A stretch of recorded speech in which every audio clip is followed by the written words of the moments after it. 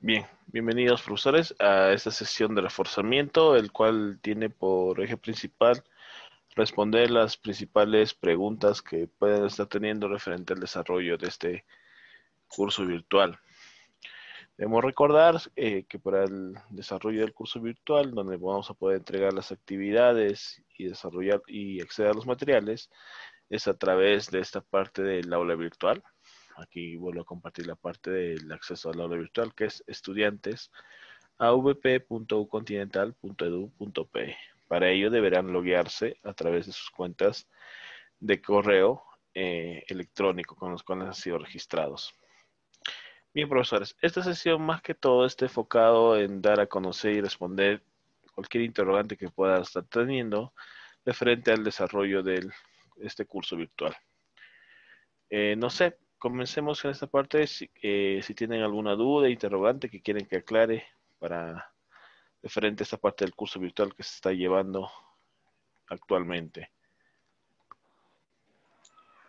Eh, había una, necesitaba un camino, una guía, o sea, unos pasos así que nos lleve a virtualizar las sesiones 1 y 2 en la cual teníamos que utilizar la aula virtual, teníamos que utilizar las mil aulas, luego había que usar los recursos. Estuvo interesante la última clase de la docente Janet, pero nos falta una, una guía porque hay que ir allá, pegar el, el archivo, subirlo, vuelta a este, regresar al, al Genially. Eh, esos, esos pasos nos, nos le agradecería que nos podía aclarar. Ok, profesor, perfecto. Bien. Eh, la actividad general que se les dejó es que puedan trabajar a través de su plataforma, en este caso en mil aulas, que deben eh, básicamente virtualizar el contenido de una asignatura. A ver, yo voy a entrar al aula para verificar en este caso.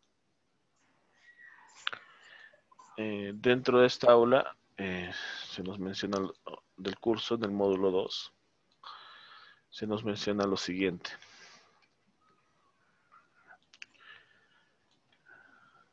El primer caso, o el primer caso práctico en este caso, nos menciona que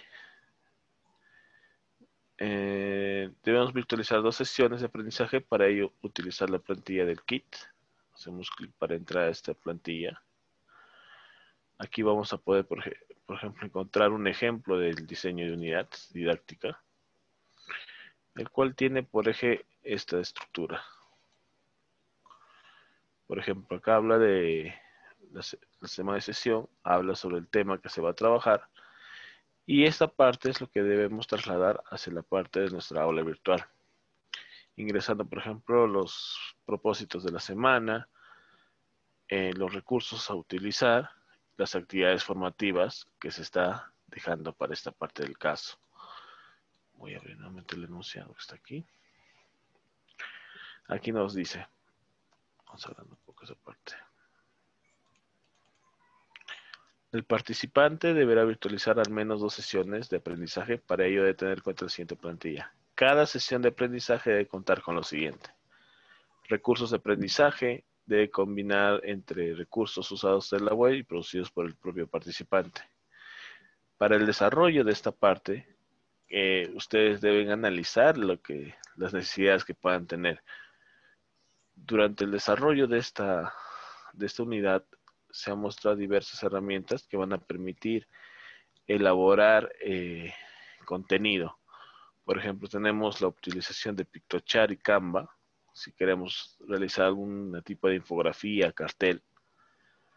Si nosotros necesitamos crear eh, videotutoriales, podemos usar, por ejemplo, Screencast Somatic o Active Presenter. Para grabar eh, un podcast, eh, se les mencionó la parte de Audacity y aquí abajo está justo lo que mencionaba sobre Genially. Si nosotros queremos trabajar una presentación para utilizarla nuestro, en nuestro diseño de curso, utilizando lo que es Genially, deberemos ingresar primero a la página de Genially. Genially. En este caso estoy ingresando a la página. y debo eh, empezar a hacer el diseño de mi presentación que voy a utilizar. Por ejemplo, a ver, voy a esperar que cargue en este caso.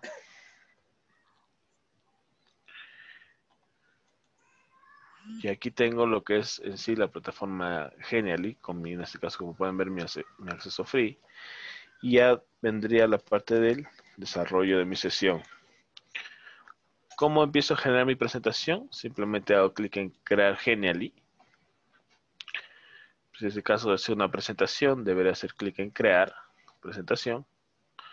Si deseo, puedo utilizar uno de estos modelos. En este caso, tener en cuenta que hay plantillas premium, que es accediendo a través de una cuenta de pago, o plantillas gratis. En este caso, como mi plan es free, utilizaré la parte de plantillas eh, gratis y eh, escogeré tal vez algún modelo que me pueda agradar o que se ajuste un poco más a mis necesidades en este caso. A ver, un ratito, por favor.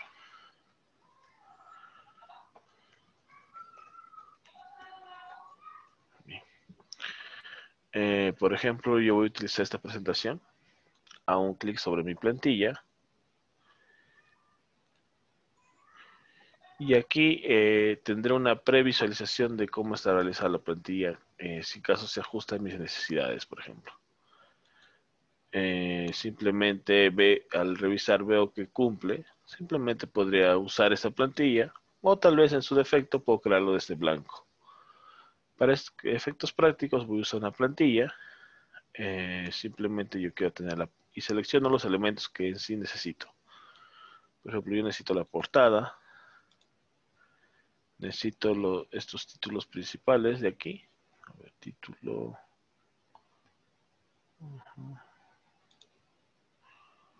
Por ejemplo, estos cuatro o cinco diseños, o seis, perdón y le agrego un video tutorial 6 y lo añado. Lo que va a hacer Genially es va a importar el, elementos que he ido seleccionando para empezar a trabajar aquí la presentación de lo que va a tratar mi tema. Por ejemplo, aquí nos mencionan el kit que están hablando sobre el curso de eh, herramientas informáticas empresarial, por ejemplo. Y yo haría sobre ese tema, por ejemplo, que se está trabajando dice presentación genial y virtualizar. Por ejemplo, su propuesta en este curso ha sido eh, la elaboración de un cartel, por ejemplo, en este caso, como se ve. Eh, se ve las funciones que ha ampliado, que ha ido trabajando. Yo puedo hacer algo similar en base a la presentación, por ejemplo. Eh, aquí podría, por ejemplo, crear presentación o navegadores de internet, por ejemplo.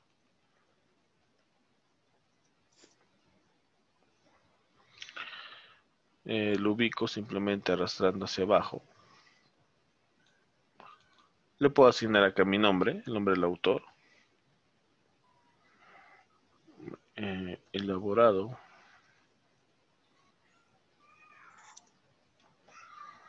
Ahora, yo debo verificar, por ejemplo, que estas imágenes sean adecuadas a lo que necesito. Si es caso no me agrada quiero agregar más imágenes, me voy al sitio de imágenes. Aquí podré acceder a más imágenes, de acuerdo a la galería que tiene en este caso Genially, o cargarlo desde mi computador. O si quiero diseños de este tipo, tendré que irme a la parte de eh, recursos y aquí podré entrar este tipo de ilustraciones. Por ejemplo, yo quiero un, un elemento diferente. Ahí está. Y agregaría o escogería un elemento de acuerdo a lo que necesito. A ver, por ejemplo, voy a agregar esta computadora. Simplemente hago un clic y se va a ir agregando a mi diseño. Yo puedo cambiar el tamaño de acuerdo a lo que necesito y lo puedo ir personalizando de cierta manera. Por ejemplo, yo quiero que cuando hagan clic sobre esta imagen, eh, para ese caso selecciono la imagen y coloco clic en este elemento, lo que realiza esta opción es que se vuelve un elemento, una opción interactiva. ¿Qué quiere decir con esto? que al hacer clic o pasar el mouse sobre la imagen, se me puede habilitar una de estas opciones. Si quiero una etiqueta que se me muestre eh, términos básicos de trabajo, si yo quiero una ventana, me genera una ventana eh, que superpone la presentación, que se lee un enlace de una página en específica del Genially o una página web externa Genially. Por ejemplo, acá le voy a poner, utilizar para este caso esta opción que es etiqueta para poder trabajar. Entonces selecciono etiqueta y yo le dejo aquí un mensajito, por ejemplo. Ideas, por ejemplo, que cambian el mundo. Solo es un mensaje en este caso estoy colocando. Hago clic esta parte de guardar y yo cada vez que el participante pasa el mouse sobre esta imagen, le va a previsualizar la imagen, o el mensaje, perdón. Como esta previsualización, debo hacer clic sobre este ojito. Hago un clic en esta parte del ojito. En este caso debo asignar un nombre. Genially de prueba, por ejemplo, lo poner así. Y aquí tengo mi Genially cargado, ¿ve? Ahora, como mencioné, si paso mi mouse sobre la imagen, en este caso que le da un efecto interactivo, se me muestra el mensaje, en este caso como un mensaje emergente, ¿ve? Lo cual puede ser muy interesante al momento de utilizar. Vuelvo a la zona de páginas que está en el lado, en el lado derecho, eh, o perdón, izquierdo, para poder volver a la edición de los demás elementos que tienen presentación en Genial en este caso, ya que he escogido para este caso una presentación. Aquí, por ejemplo, puedo colocar un título principal, por ejemplo, eh, principales navegadores, por ejemplo, que es en base al tema que estoy trabajando en este caso. Si deseo lo puedo reordenar el tamaño como desee. Ahí está. Mm, selecciono el elemento subtítulo y lo voy a quitar. Y ya está esta parte aquí. De igual manera, si yo quiero agregar un contenido interactivo, selecciono el recurso o el elemento, en este caso voy a seleccionar el texto, hago clic sobre esa parte de la manito Aquí está. Hago clic sobre este recurso de la manito y le asigno un tipo de interactividad en base a lo que necesite. Por ejemplo, yo quiero que me dirija eh, esta parte a la portada nuevamente. Selecciono página, hago clic en guardar y ya se genera el vínculo. Nuevamente, si entro a mi vista previa, como mencionamos hace un momento, la imagen del tiene una idea, muestra un mensajito. Si yo paso a mi siguiente diapositiva, hacen clic en esta parte de eh, principales navegadores que hemos puesto interactivo, me va a volver hacia la portada. Yo de esta manera puedo ir personalizando y, y generando más información en la parte de mi utilización de Genially. Si nosotros revisamos esta infografía que han creado, básicamente, ¿qué elementos tiene? Eh, está un título, un texto, una línea de tiempo lo han ido diseñando. Y por ejemplo, acá hay una animación de círculo que va girando. Eso, por ejemplo, se encuentra en esta parte de elementos interactivos. Podemos encontrar esa opción. Y aquí vemos un cuadro con el símbolo de más. Si nosotros nos percatemos colocamos el mouse sobre este símbolo de más, ¿qué es lo que ocurre? Nos genera una ventana, en este caso un campo de mensaje. Es básicamente lo que hemos utilizado para este efecto de la idea, en este caso, que se estaba teniendo en Genially al momento de ir agregando. No sé si se entendió esta parte, profesor eh, Marcial. ¿Era lo que me hacía referencia? Sí, ya. O sea, una vez que hemos elaborado los, las, este, las plantillas eh, de Genially, ¿cuál, es el proceso para, Ah, perfecto. ese enlace y Perfecto. llevarlo a, a mil aulas. Ok, perfecto. Supongamos, hagamos una suposición que ya terminé de hacer mi diseño, ¿está bien? Eh, ya todo está todo armado. Sí, Me queda simplemente hacer clic en este botón que dice listo. ¿Ok? Este botoncito lo que va a hacer Listo. es que se publique el Genially que estoy utilizando.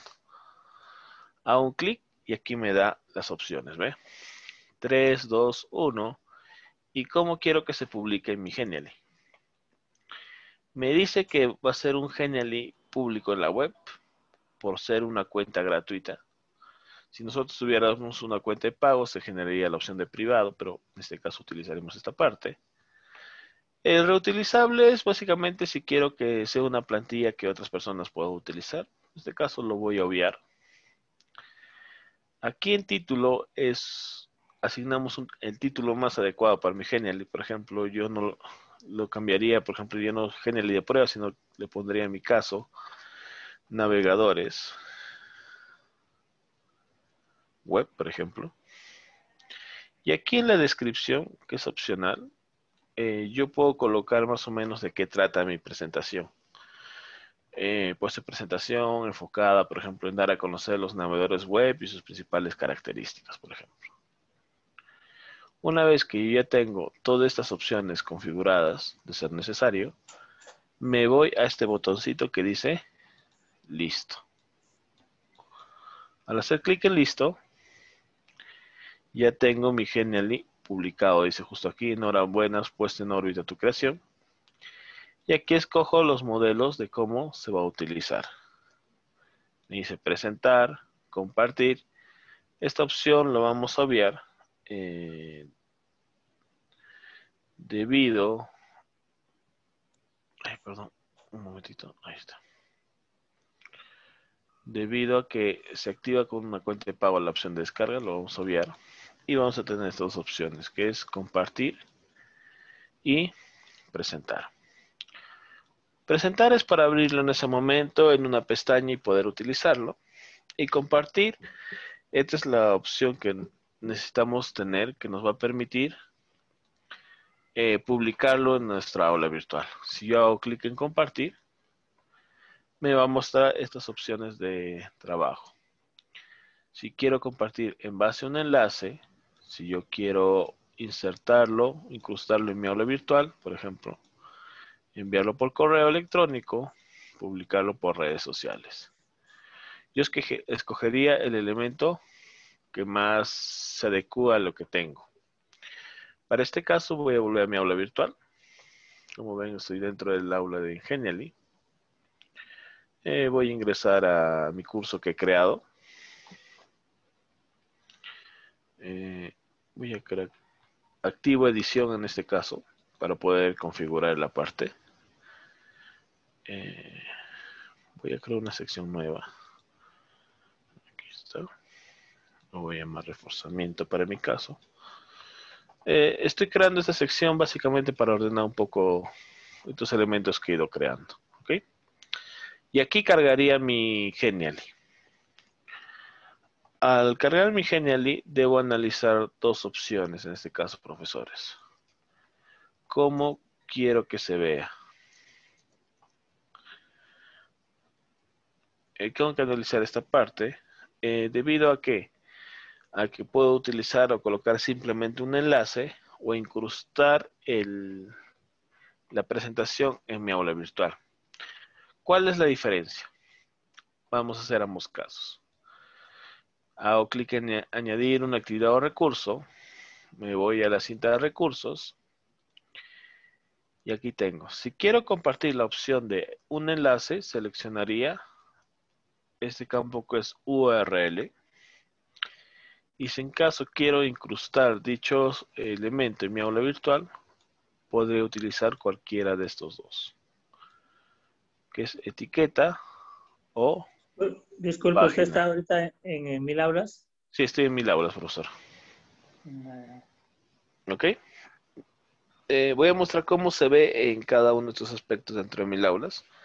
Como ven, yo estoy ahorita en- dentro de mil aulas. Aquí está mi dirección de mi aula que he creado yo. Primer caso voy a hacer el de URL, ¿está bien? Por ejemplo, eh, pongo un mensaje presentación de navegadores web, por ejemplo. ¿Ok? Y en esta parte copiaría la dirección web de mi Genially. Si vuelvo a mi Genially, aquí voy a encontrar la dirección web. Hago clic en este botón que dice copiar y ya tendré el acceso a mi Genially copiado. ¿eh? Se ha copiado satisfactoriamente. Vuelvo a lo que venía a ser mi aula virtual y pego este enlace. Me voy al final y guardo cambios. En este punto ya tengo mi Genially publicado, por ejemplo.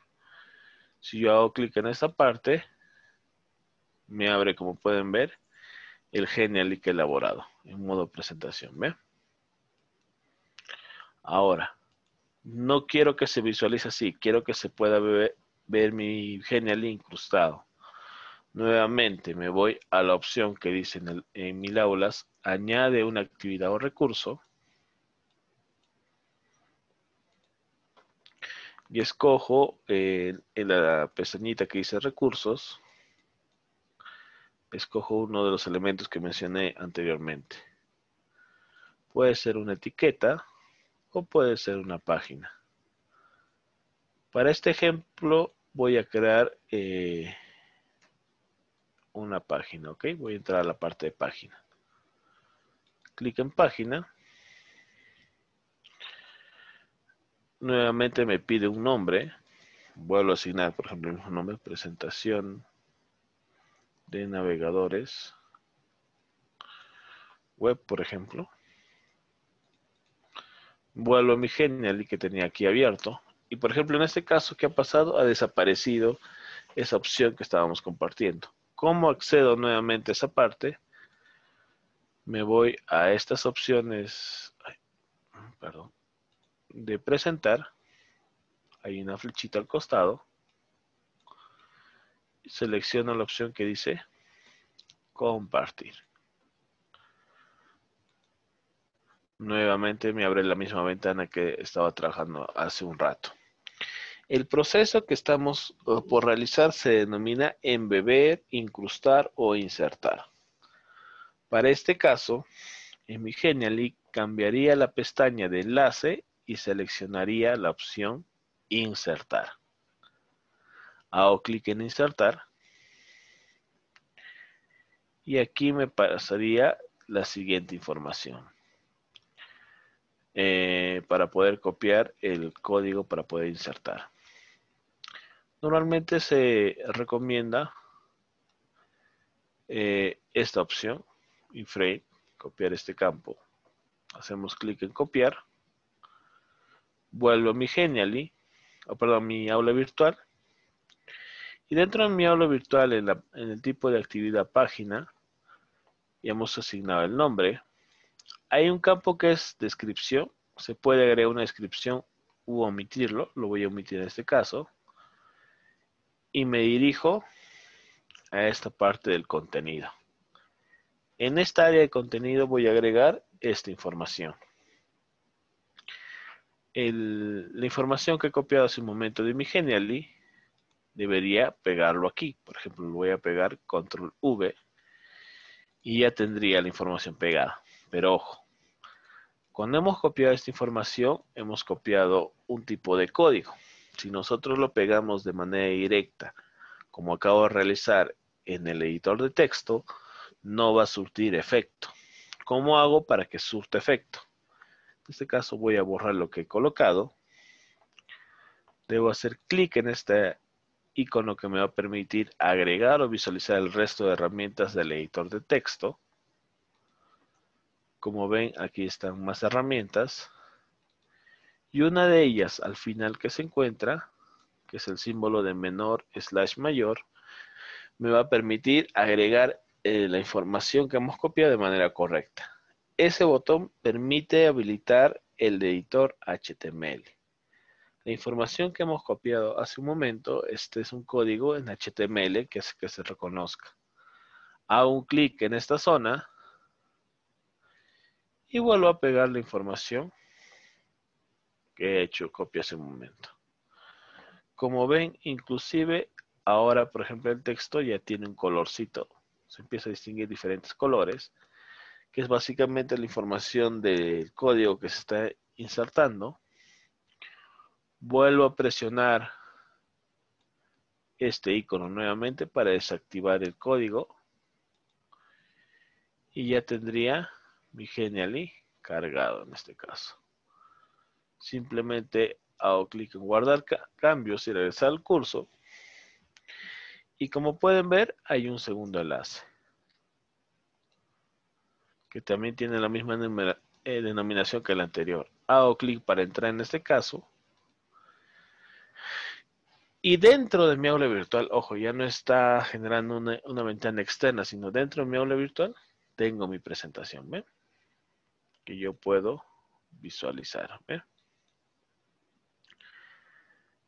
Ahora, la otra opción que existe y que les estoy mencionando es básicamente hacer lo mismo que en navegadores, pero utilizando una etiqueta. Hago clic en esta parte que se añade una actividad o recurso.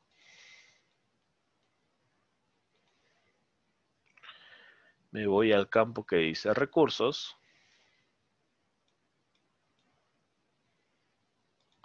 Y selecciono la opción de etiqueta. Ahora, simplemente lo que debo hacer en este caso es, ya no, ya no tengo el campo para añadir un nombre, sino de frente activaría este botoncito que hemos creado hace un momento, o que hemos utilizado para desplegar todas las opciones del editor de texto. Me voy al último botón nuevamente, que este botón nos va a permitir activar el editor HTML. Y acá pego el código que he copiado de aquí de mi Genial y cuando entré a la opción de compartir, en la opción de insertar, la parte que hice frame la hemos copiado. Vuelvo a mi, a mi, mil aulas, vuelvo a presionar el botoncito del HTML que hemos activado para desactivarlo y ya tengo mi Genially cargado. Ahora guardo nada más cambios y regresar al curso. Y en este caso ya tengo presentado mi Genially. ¿Cuál es la diferencia? Que cuando directamente ingresen al aula, ya tienen acceso al Genially. No tienen que pasar a otra página para poder acceder. No sé si se entendió, profesor eh, Marcial, en este caso.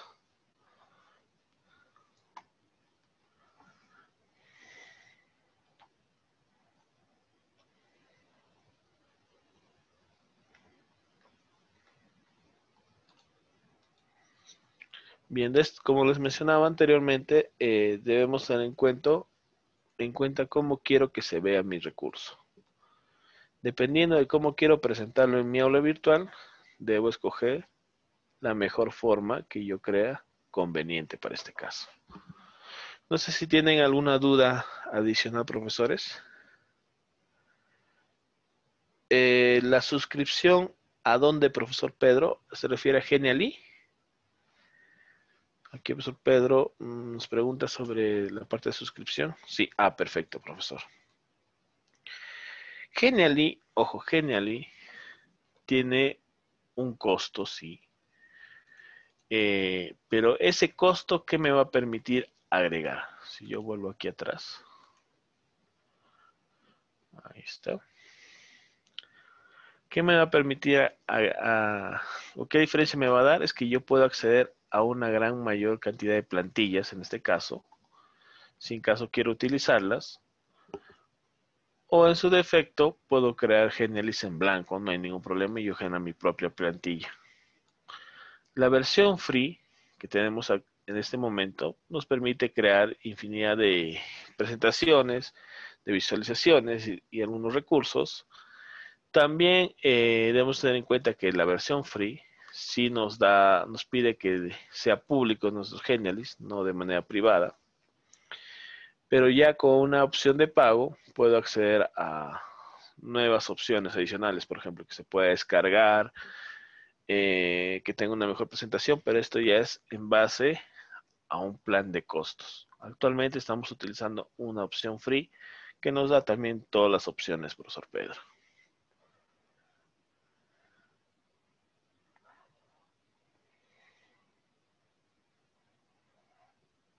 A ver, aquí tengo eh, del... Carlín me dice, eh, debo agregar mínimamente, ¿qué debo agregar mínimamente en Moodle para que mi, para mi evaluación final en cada una de mis secciones? Eh, a ver, de mis dos sesiones. Si nosotros revisamos el caso práctico, nos menciona que al menos debemos producir y utilizar dos recursos digitales. Puede ser una presentación, puede ser una infografía, puede ser un video tutorial, eh, una información, una lectura que debo agregar a mi sesión. ¿Ok? Esto es referente a recursos que nos está mencionando en el caso práctico número 4. Si yo me voy al caso práctico número 5, para este caso,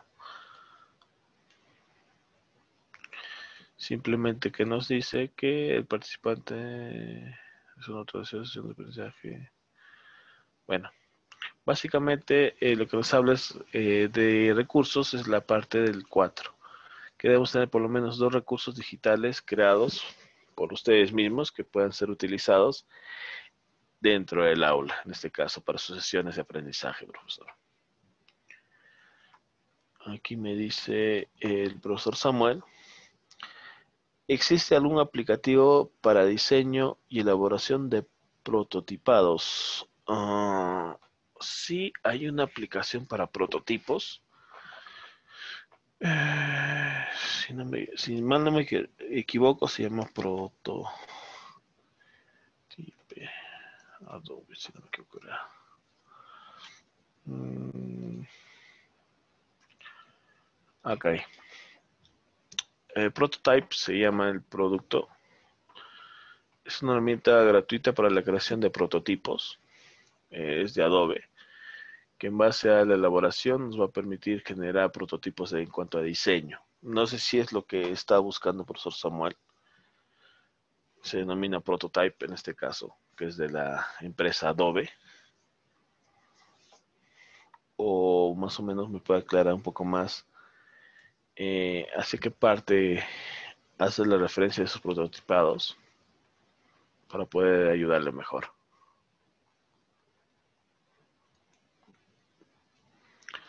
Por si acaso les dejo esta web para que lo puedan tener. A ver acá.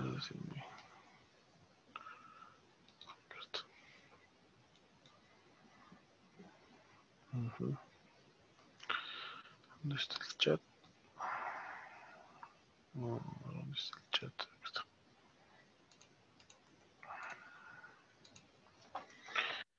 Eh, sí, profesor Carlin, eh, debe ser en sus dos sesiones la, eh, opción para agregar sus recursos en este caso.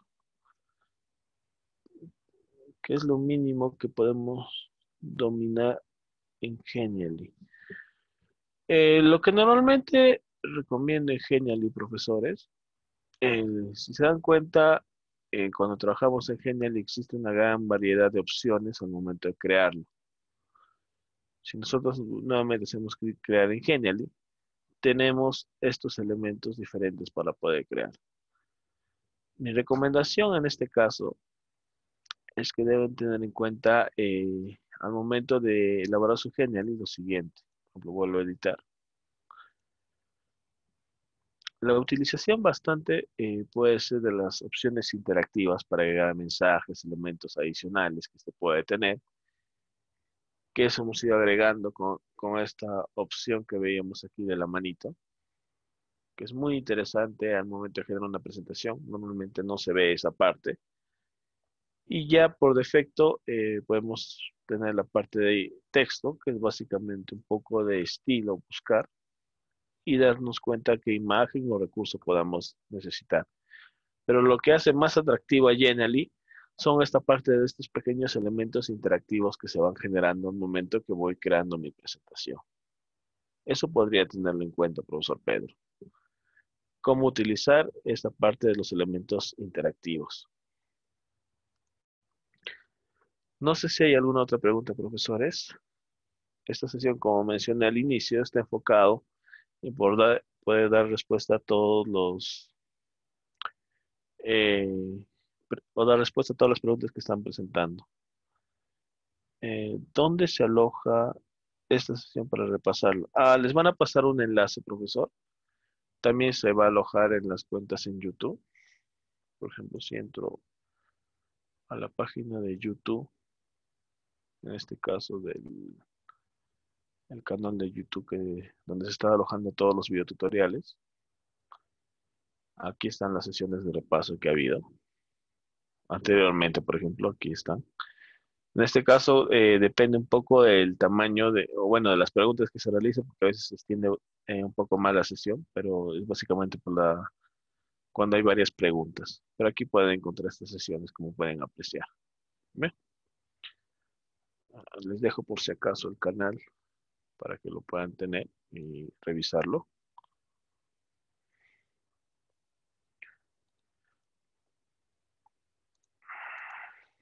A ver qué más me pregunta. A ver, aquí dice profesor, refuerce cómo hacer desarrollar los módulos 1 y 2, cómo hacer autoevaluaciones y los foros 5, 6, 7, 8, 9, 10, 11, 12. Ya, acá me piden un reforzamiento de todas las actividades. Y ahorita lo vamos a revisar con ustedes, profesores. Eh, a ver, aquí dice. Podría enviar ese video de esta sesión para guiarme. Sí, profesor, igual se va a subir a este canal el video de la sesión para que lo puedan visualizar. Eh, la sesión virtualizada debe de subirse también a Moodle. Sí, profesor Carlin, eh, lo que menciona la actividad es que este kit debe ser subido a su plataforma. ¿Por qué? Porque esa parte le van a compartir a su tutor virtual para la revisión, la dirección, web de su aula virtual con sus accesos para que pueda revisar esta información. Aquí nos menciona esa parte.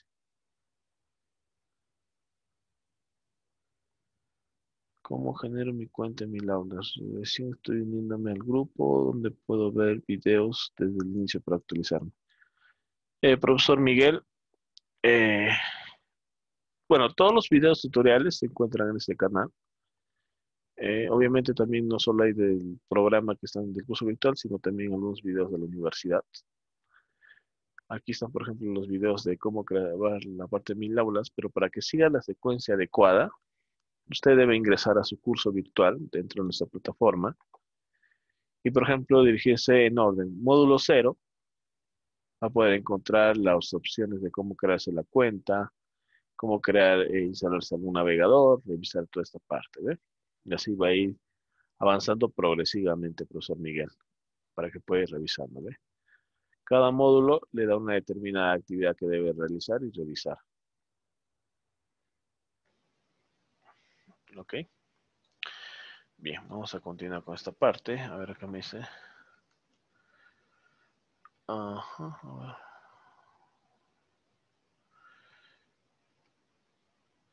Mm, ya, a ver acá que me dice, eh, buenos días profesor, ¿cómo subir una infografía a mi aula virtual?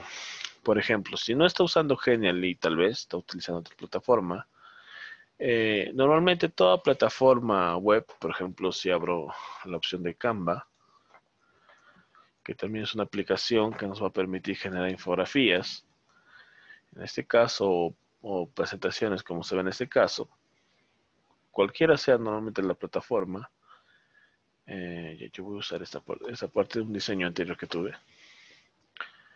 Que en este caso es una infografía, como pueden ver. Existe esta opción de compartir, por ejemplo. Ah, aquí está, compartir enlace. Este enlace es el que deberíamos copiar y pegarlo en nuestra aula virtual para que se pueda visualizar. Porque de esta manera nos da un acceso eh, web esta opción que se puede utilizar, por ejemplo. Perdón. De esta manera podemos utilizar este tipo de opción. O acá tenemos la opción de insertar, como les mencioné hace un momento, que hace básicamente lo que hicimos hace un momento, que era ah, embeber o insertar nuestra presentación en, en Genially que hicimos hace un momento. Normalmente todas las plataformas web cuando se trabaja cuentan con una opción de insertar o compartir el enlace público para que puedan acceder a él. A ver. Otras aplicaciones para que puedan hacer presentaciones, en este caso, eh, fuera de Genially, otro atractivo que existe es la opción de Prezi, que es una, una plataforma interactiva, de igual manera nos permite generar presentaciones, en este caso de manera online. De igual manera tiene una cuenta gratuita que podemos acceder a ella. Ah, perdón, lo tengo apertura con el otro navegador mi cuenta. Un segundo. Aquí está.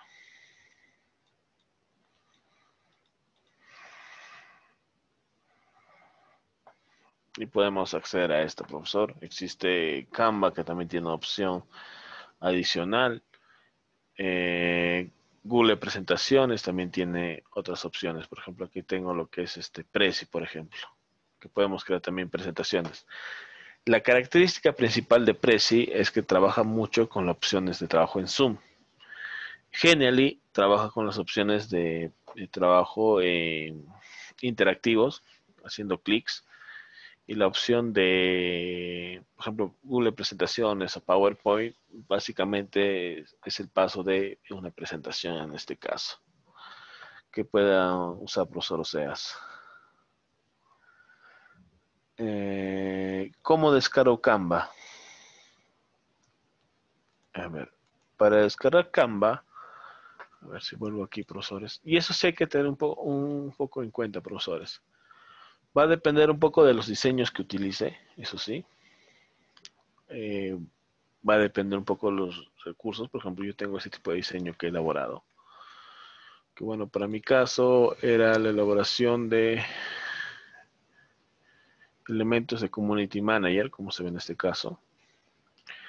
Yo cuando utilizo algunos elementos, en este caso eh, de trabajo, debo tener en cuenta un poco las opciones o limitaciones que pueda tener eh, la aplicación que estoy utilizando. ¿Por qué? Al igual que Genially, algunas de estas imágenes son de costo por una cuenta eh, premium y nos va a dar una alerta al momento de descargarlo. Si yo hago clic en esta opción de Canva para poder descargar, hago clic en esta opción de descarga, que se puede ver, y aquí me da estas opciones. El tipo de archivo, me da esta opción, cantidad de páginas, y aquí me dice, pues, de mi presentación tengo cuatro imágenes premium, las cuales me cuestan tanto. Para poder descargarlo yo debo pagar en este caso. O en todo caso hay una opción adicional que a veces no es muy vista, que dice aquí, descargar un borrador gratis con marca de agua. Si nosotros deseamos descargarlo y no queremos pagar en este caso, podemos optar por la versión del borrador. Que básicamente, ¿qué hace? Cuando yo hago clic en esta parte, me descarga mi diseño que he elaborado en Canva, pero le va a asignar una marca de agua en este caso. Aquí está, se está descargando mi archivo. Guardo los cambios y ya tengo esta parte. Simplemente hago clic sobre mi presentación y aquí está. Y como pueden ver, en mis imágenes empieza a aparecer esta marca de agua. Puede ser una opción que puede servirle profesor, profesor Amparo para que pueda bajar sus videos. ¿Ve? Todas mis imágenes empiezan a tener ya el logo de Canva. Pero de igual manera, sí se puede utilizar. Y lo baja en este caso en un formato de PDF.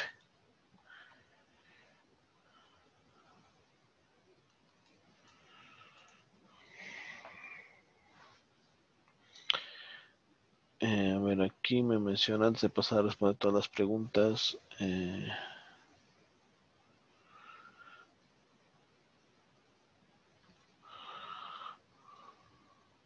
el profesor Carlín me menciona, en Canva el material se guarda, que elaboramos se guarda automáticamente. Sí, profesor.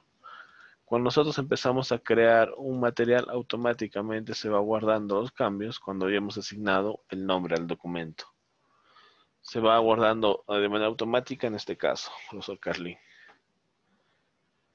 Eh, profesor Pedro me dice, tengo una dificultad para ingresar a las tareas. Eh, ¿Cuál es la dificultad que tiene, profesor? No sé si me puede explicar más. ¿Y a qué parte quiere que le repita, profesor Pedro? Por favor, le pediría. Bien, vamos a ir revisando las tareas que me estaban diciendo en este caso. A ver.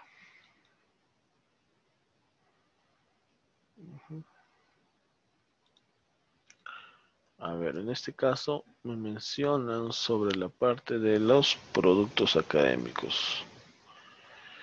Eh, por favor, refuerce cómo hacer el desarrollo de los módulos 1 y 2. El módulo 1 nos habla sobre la parte de la educación en el siglo XXI. Básicamente es un aspecto teórico, se podría decir.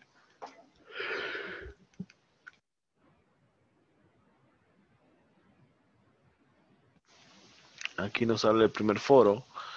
¿Qué nos dice este foro? Aquí está. A ver. Eh, a ver qué dice. Básicamente nos habla sobre búsquedas eh, confiables en Internet. Nos dice que eh, me encuentre dicha guía mediante el buscador web.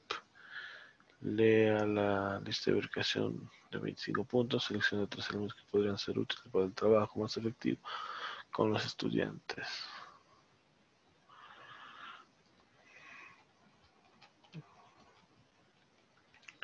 Ya, ok. Para este caso, lo que básicamente nos está indicando es que busquemos esta fuente de información o este, este documento en la web mediante un buscador web. Para eso, por ejemplo, el buscador, web más conocido es la parte de Google. Y en esta sesión, si mal no me equivoco, se hablaron de algunos términos o opciones que nos permiten eh, agregar eh, eh, comandos de búsqueda a, a nuestro navegador. Por ejemplo, si nosotros queríamos buscar una palabra exacta, lo escribimos dentro de comillas los términos. Si en caso quería unir dos o más palabras que sean exactas, utilizado el símbolo de más para agregar eh, palabras en, en específicos. En base a eso es lo que se debe realizar la búsqueda para este caso del foro número... Eh, ¿Dónde está? Del foro número 5 eh, en este caso.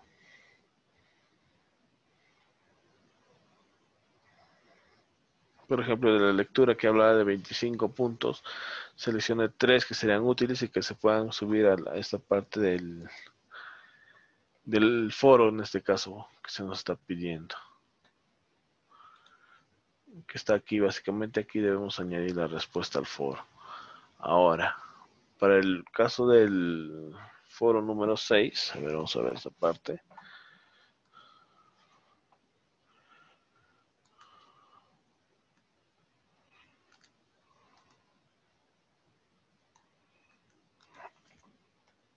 ¿Dónde está el foro 6?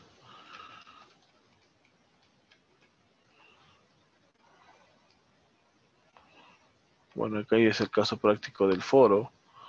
Hago clic en esta parte y vemos lo que me dice. A ver.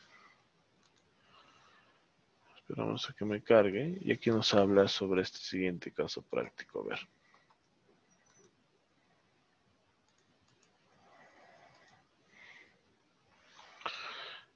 Espacio se obtendrá. Ya.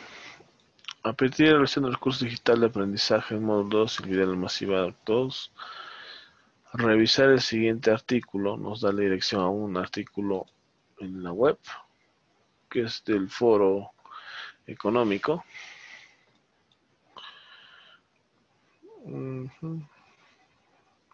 Y les piden que pueda responder esta pregunta. Básicamente en el foro número 6 es leer este documento que se hace mención aquí y en base a la interpretación de información responder la siguiente pregunta. Esto es a través de la parte del foro, para que puedan poder trabajar profesores. A ver, siguiente. Bueno, este es el, trabajo grupal wiki en el cual tenían que dar respuesta al siguiente producto, el caso práctico número 3, si no me equivoco, era...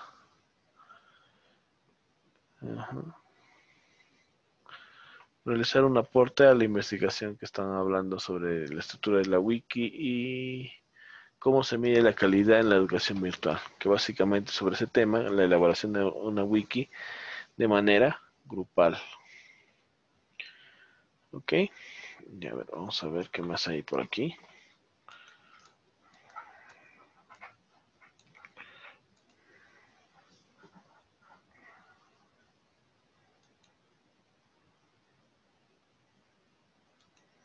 Bien, vamos a ver aquí. Eh, pasaríamos al módulo 2. En el módulo 2, las actividades a realizar en el foro. A ver. El foro 6 que está aquí. Anunciado.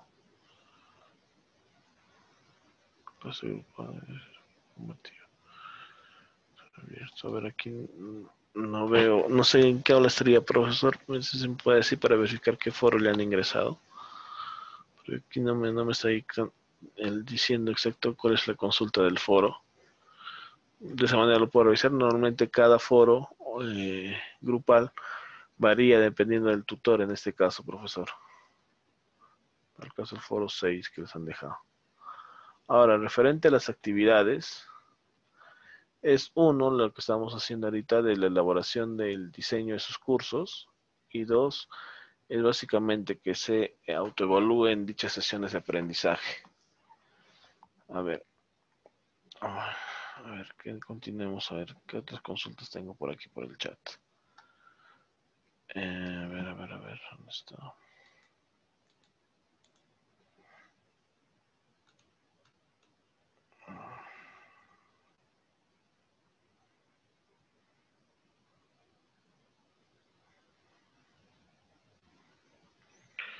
Profesor refuerza el procedimiento para insertar un video con audio en una PPT en Genial. Ahí ya. La, la profesora Luisa, eh, si usted quiere agregar un video en Genially, normalmente parte de, a ver, eh, de un video en YouTube o Vimeo, una plataforma. A ver, un segundo. Acá está mi, acá está mi. ¿Ok? Nosotros cuando queremos agregar un elemento al Genially, el primer paso es irnos a la opción de insertar. ¿Ok? En la opción de insertar podremos agregar un video, una imagen, un audio, de ser necesario para nuestra presentación. Un segundito, profesores. Voy a conectar mi equipo de energía. Ya está. Eh, por ejemplo, si se refiere al video, profesora, en el campo insertar hay una opción eh, directa que nos habla de la opción de inserción. Como pueden ver, he hecho clic en el punto que dice insertar y ahí me da dos, o perdón, tres opciones. Uno que es audio, si en caso quiero colocar un audio a mi presentación. Eh, si en caso quiero subirlo el audio desde mi computador, hay que tener en cuenta una opción que es utilizando un plan premium, por eso no vamos a poder subir. Otra opción es grabándolo directamente a la plataforma. Como ven, en este caso he hecho clic en el micrófono y se nos agrega el audio que acabo de grabar. Lo voy a eliminar en este caso. Otro es utilizar una de las plataformas conocidas de streaming eh, de audios como Spotify, SoundCloud, YouTube, entre otros, para agregar el audio a mi presentación. Si es en caso video, eh, normalmente puedes hacer a través de tus cuentas de Drive o Dropbox o utilizar, por ejemplo, un video de YouTube o Vimeo. Por ejemplo, aquí estoy en YouTube y quiero utilizar, por ejemplo, el video de, ahí está, de Google Chrome, por ejemplo. Copio este enlace. Me voy nuevamente a mi... Voy a cerrar pestañas que no necesito para que no se me no estén mareando de profesores. Ahí está, ya. Tengo mi enlace en este caso, le doy play, o enter, perdón, y se agrega, como ven, mi video tutorial. Este video lo voy a mover y lo voy a agregar en este campo de aquí. ¿Está bien? Lo borro esta parte y aquí voy a agregar mi video que hace rato he creado. ¿Ven? Lo puedo ir acomodando de acuerdo a las necesidades que pueda tener. Ahí está. Ahí está mi video, como pueden ver. Ahí está. Y ahí está. Ahora simplemente eh, cuando ponga vista previa, el participante va a poder darle play y va a poder visualizar mi presentación, mi video en este caso, ¿ve? Y va a poder visualizarlo en este caso, profesora Luisa. Ahora, no quiero que el participante tenga que hacer clic en play para poder acceder a mi video. Si yo hago clic en estas opciones de configuración, que son estas tres líneas que se ven aquí, podría indicarle, por ejemplo, quiero que el inicio sea automático, que me ocurre la barra de reproducción y, por ejemplo, si yo quiero que en un momento en específico inicie, lo puedo programar. Ahora simplemente hago play y como ven, carga automáticamente porque he dicho que se inicia automáticamente y no tengo la opción de la barra de reproducción en este caso, para poder detener o pausar el video que estoy utilizando. Ya depende cómo esté necesitando puedo ir configurando estas opciones de mi video. No sé si se entendió, profesora Luisa. Era lo que quería.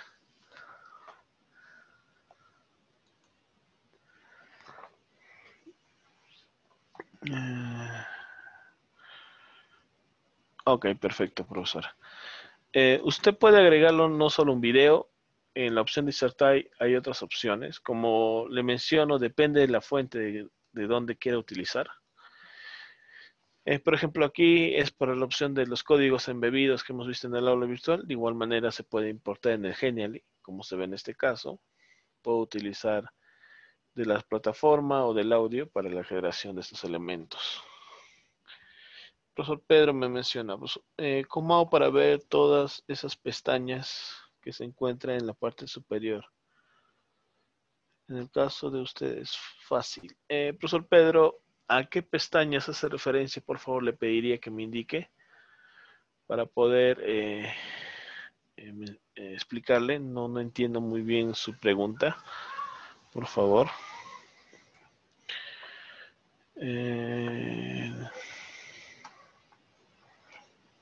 a ver, aquí tengo, pues no me interesa todos los herramientas, pero yo como quizás otros colegas se nos hace difícil aprender todas las herramientas como Genial y Canvas, etc.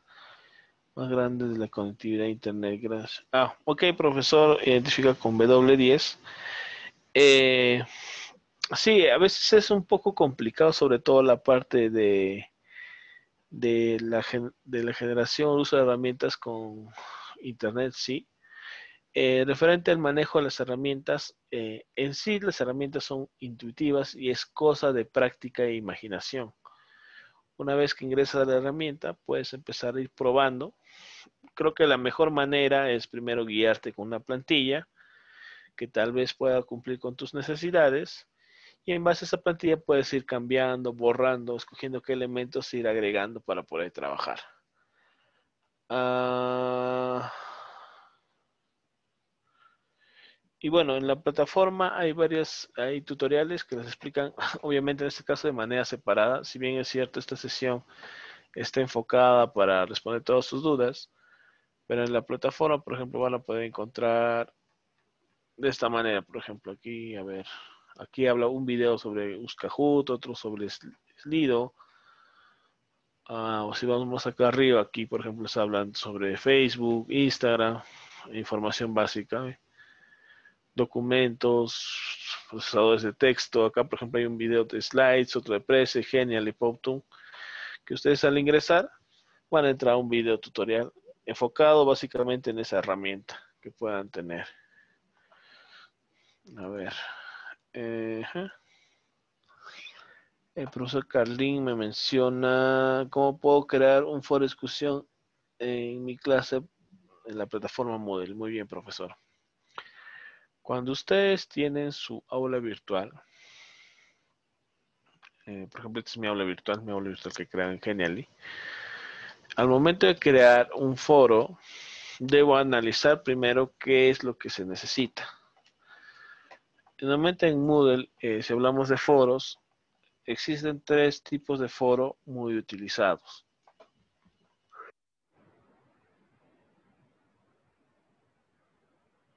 Perdón. El primero que es el foro de uso general. Eh, foro de debate. Sencillo. Vamos a ponerlo así. Y el otro es de eh, foro PIR. Ok, o también conocido como preguntas y respuestas. Existen estos tres tipos de foro, profesores. El foro de uso general enfocado principalmente para cuando exista alguna duda o interrogante eh, eh, por parte ya sea del participante o del docente. ¿Qué quiere decir con esto? Por ejemplo, cuando yo creo un foro de uso general, para este caso me voy a la opción que dice añade una actividad o recurso.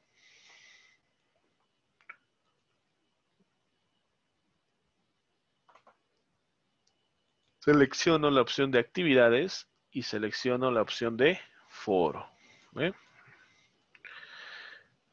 dentro de foro, me pedirá que asigne, eh, primer campo, que asigne un nombre al foro. Por ejemplo, eh, foro de preguntas al docente, por ejemplo. ¿Por qué es, ese tipo de foro voy a utilizar un foro de uso general? ¿Por qué? Porque tanto el estudiante eh, como el profesor va a poder colocar o agregar una pregunta en este tipo de foro. Una característica es que aquí cada participante puede agregar un tema de discusión al foro que ustedes estén planteando. Por eso estoy utilizando el foro para uso general.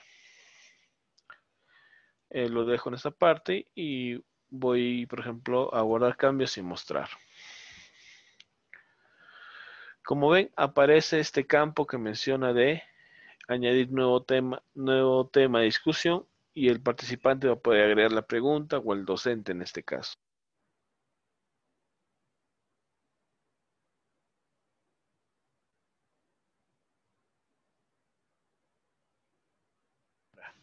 En los otros tipos de foro que existen es el tipo de preguntas y respuestas y el de debate sencillo. Normalmente estas están pensadas en que el participante dé respuesta a alguna interrogante que ha sido planteada por el docente. ¿Ok? Normalmente está pensado, repito, en que el participante dé respuesta a alguna pregunta. Pero me puede decir, profesor, pero si en caso estas dos estos dos tipos de foro hacen lo mismo, eh, ¿por qué existen dos? Es que tienen una peculiaridad. El foro de debate sencillo simplemente eh, es un foro donde el profesor plantea una pregunta y el estudiante puede responder en cualquier momento. En ese caso no existe alguna restricción. Para el caso de pregunta y respuesta,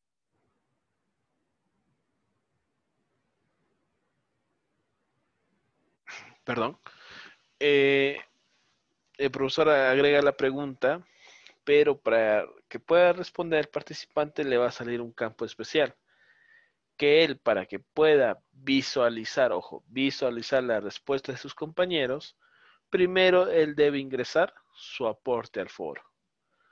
¿En qué manera nos ayuda esta parte? En que, por ejemplo, estamos logrando que no haya un parafraseo de respuestas por parte de los estudiantes, porque cada uno tendría que agregar su respuesta en específico en este caso. Por ejemplo, voy a loguearme a esta plataforma, pero con una cuenta de, de participante. Me dan un segundo, por favor.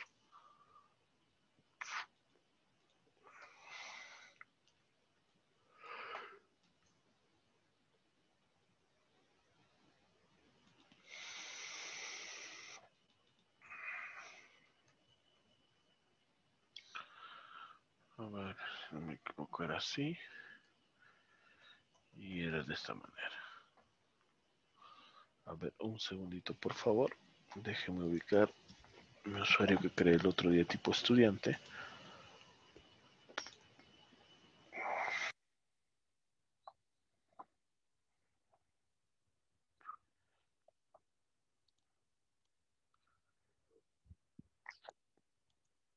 Un segundito, por favor.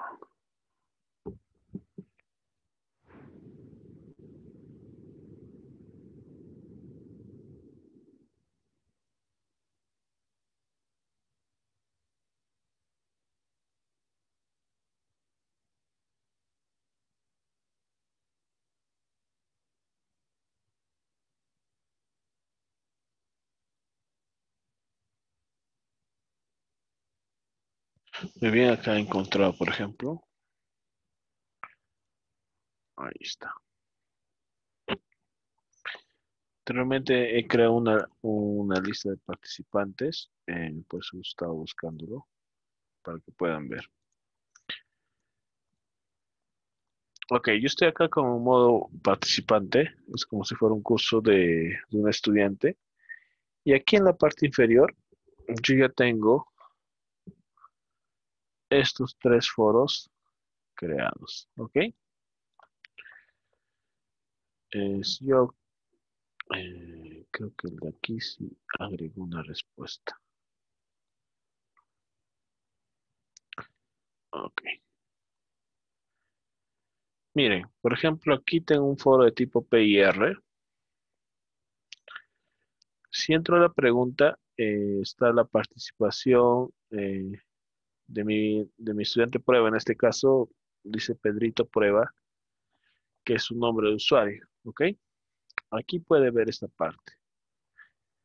Eh, si se va el participante al tipo de pregunta normal o al foro de debate sencillo, ve la pregunta del participante y del docente y da su respuesta, pues su defecto, al de consulta del docente, le da este botón para agregar nuevo tema de discusión.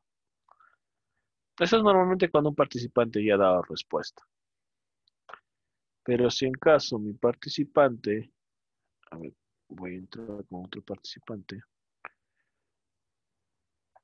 Eh, a ver, a ver, a ver, un segundito, por favor.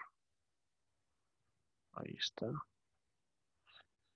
Voy a ingresar como otro alumno.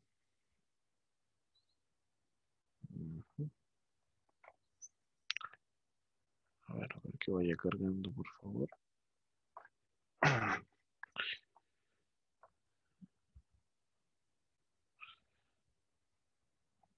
Ahí está. Este caso es un alumno 2.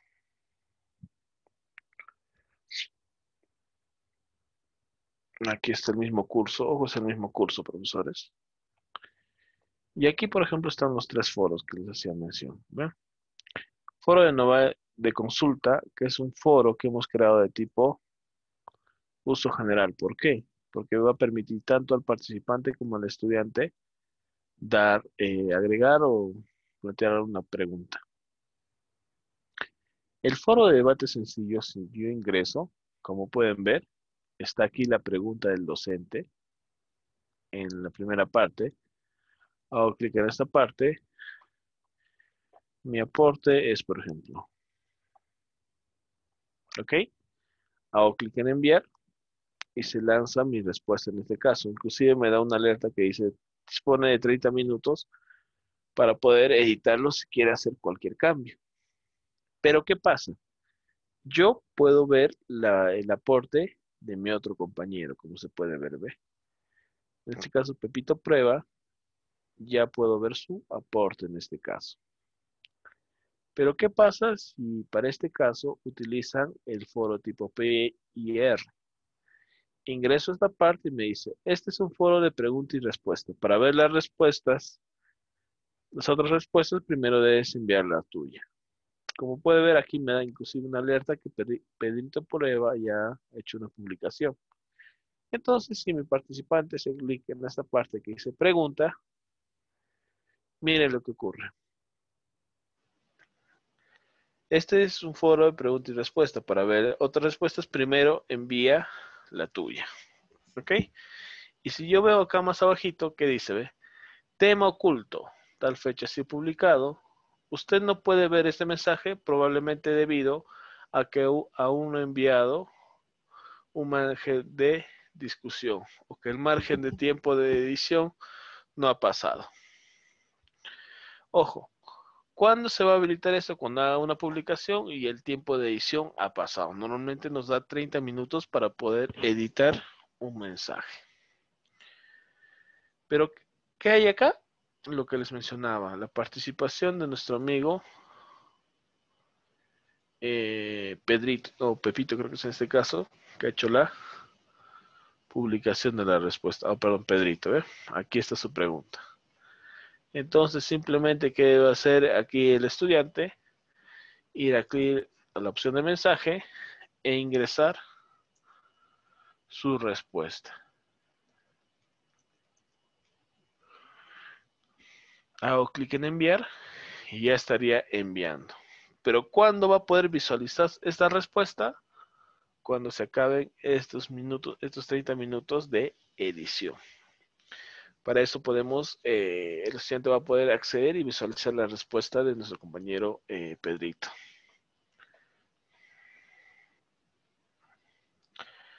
Bien, eh, no sé si quedó claro, profesor, sobre esta parte de foro. Profesor Carlín.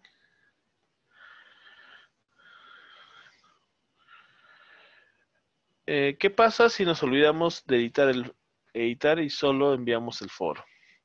Ok, supongamos que no editan, lo dejan tal cual, no hay ningún problema porque se, crea, se queda con la respuesta que está. Esta opción que le dice dispone de 30 minutos es porque a veces nosotros mandamos un mensaje y queremos corregirlo, cambiarlo o actualizar algún término que me equivoqué al escribir, por ejemplo. Eh, tendría 30 minutos para poder editarlo. Pero si en caso mi foro lo quiero dejar tal cual está, simplemente hago caso omiso de la edición en ese periodo de tiempo, profesor profesor Amparo.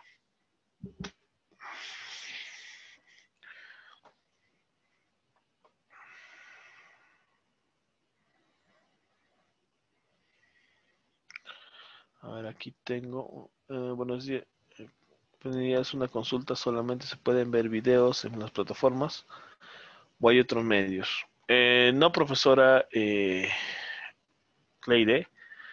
cuando usted utiliza eh, las plataformas, puede embeberlo como si existe una opción o simplemente colocar los enlaces de los videos en este caso, como se ve, para que puedan tener acceso a estos. Bueno, aquí este es un video privado. Oh, oh, ¿Dónde está mi Firefox? Acá. Aquí está el video, por ejemplo, que pueda tener. Y podemos ir visualizando en este caso. ¿Ok? Es una opción que pueden tener en cuenta. Por ejemplo, eh, les menciono un truco, profesores, y esto funciona para Google Chrome. Eh, aquí está mi aula. Supongamos que queremos ver un video en YouTube eh, de un tutorial. ¿Cuál es el principal problema cuando vemos un tutorial? Que lo tenemos en una página en específico, por ejemplo, detrás de YouTube.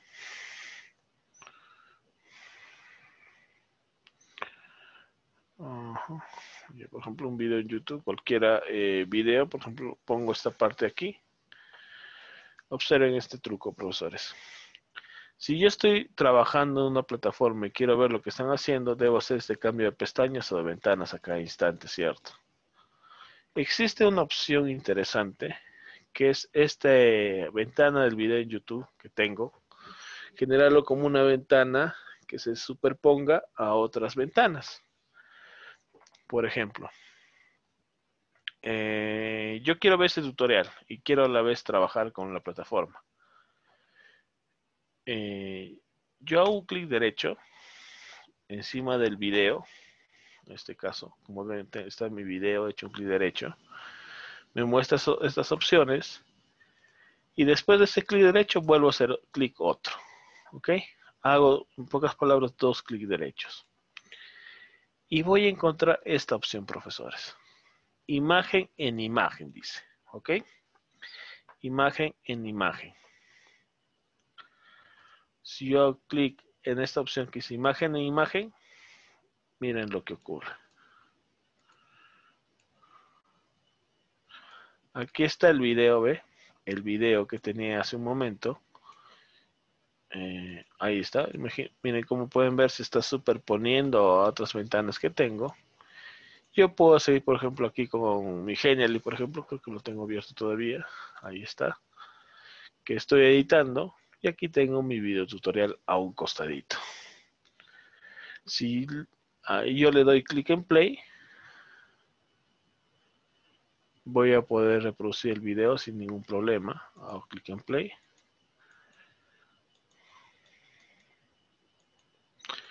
Y ahora simplemente eh, continuaré con la revisión de los elementos que estoy teniendo. O volver a su estado normal. ¿ve? yo puedo ir trabajando de esta manera. ¿Ve? Ahí está el video. Y se puede trabajar sin ningún problema. ¿Ve? Yo lo muevo a otro lado. Y si voy cambiando, por ejemplo, de ventana, se sigue, sigue dando reproduciendo en este caso de lo que estoy necesitando. No quiero trabajarlo así. Acá tengo una ventanita que me va a permitir eh, volver al mismo parámetro de este caso para continuar con el video reproduciendo el navegador.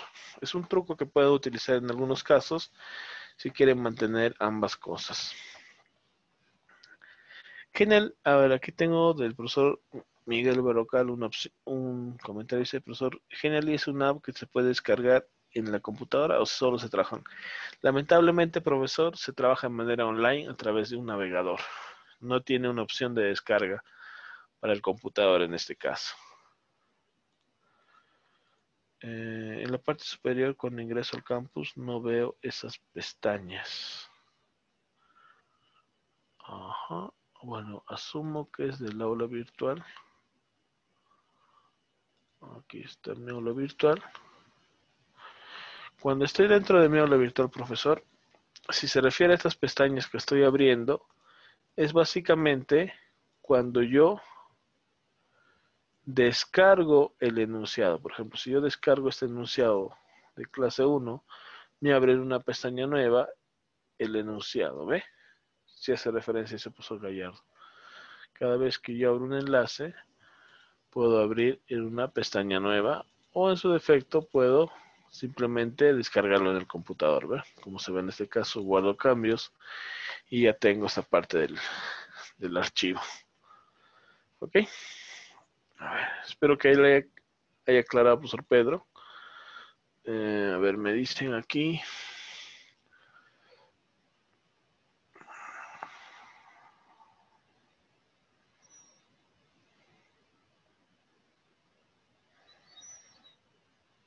Ok. Me dicen aquí, profesor, una consulta, ¿podría repetir la parte final por ejemplo, del foro número 5 no encuentro la opción cómo ingresar mi respuesta. En el foro 5, eso estaba en el la módulo 1, el foro número 5. Ahí está. Hago clic en esta parte. Si en caso le sale de esta manera, es que no está activo. En mi caso, en esta aula no está activo. Por ejemplo, voy a cambiarme de aula para poder eh, usar una, una correcta es por mi, por mi caso que es una aula prueba, profesores, no está haciendo un seguimiento. Eh, yo voy a ingresar a una aula cualquiera, la aula 55. A ver, un segundito.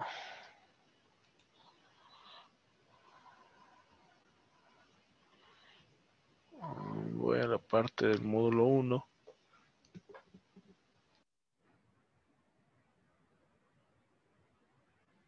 Voy a entrar al foro. ¿Dónde está el foro? Perspectiva 2. 5. Aquí tengo, por ejemplo, la opción de, bueno, en este caso lo han puesto que sea un tipo, de, han cambiado el tipo de foro, por ejemplo. Menciona que aquí, por ejemplo, es añadir un nuevo tema. Y aquí van a ir agregando la, la información, ¿eh? Que va a dar respuesta a lo que están planteando. Puede ser esa opción, profesora eh, Judith. Eh, ¿Cómo puedo hacer, eh, hacer un formato formulario para tomar asistencia? Eh, ¿Se refiere en una sesión virtual, profesora Rebeca? por ejemplo, en Meet. ¿O acá hace referencia, profesora Rebeca?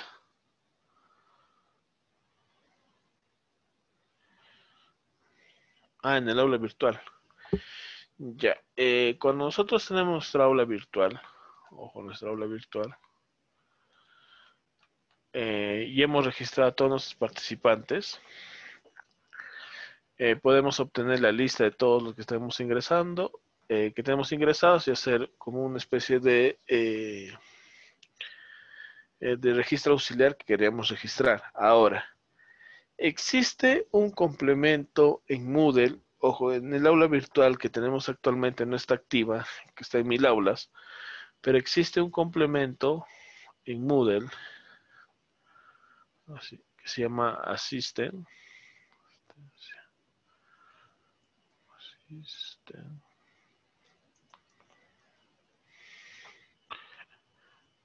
Eh, vamos a ver si me parece. Plugin Assistant. No es Attent, si no me equivoco. Listo. Que básicamente nos permite eh, llamar lista. Attents. Que yo simplemente me da esta imagen donde puedo yo programar mi clase y este es el llamado de mis participantes por eh, llamada lista normal, activando presente esa parte, profesora Rebeca. En mil aulas no está habilitada esa opción. Si es que no, no va a poder acceder, pero sí es una herramienta que se puede ir añadiendo. Ahorita en mil aulas no, porque bueno, está en sus políticas que no esté esa opción. Otra opción sería eh, descargar el registro de los alumnos. Por ejemplo, si yo estoy en mi aula virtual, me voy a la opción que es eh, calificaciones. Eh, perdón, perdón, pones calificaciones, a ver, ratito.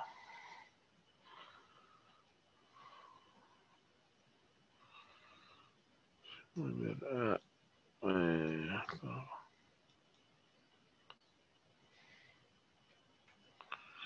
eh, Ahora, a ver, me estoy confundiendo en este caso, de recursos.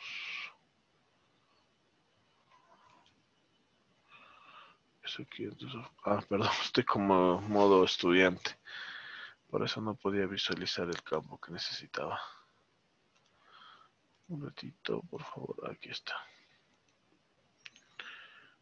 Aquí en calificaciones tengo la opción de exportar mi lista de participantes en este caso. Y yo puedo generar una alerta y puedo trabajarlo.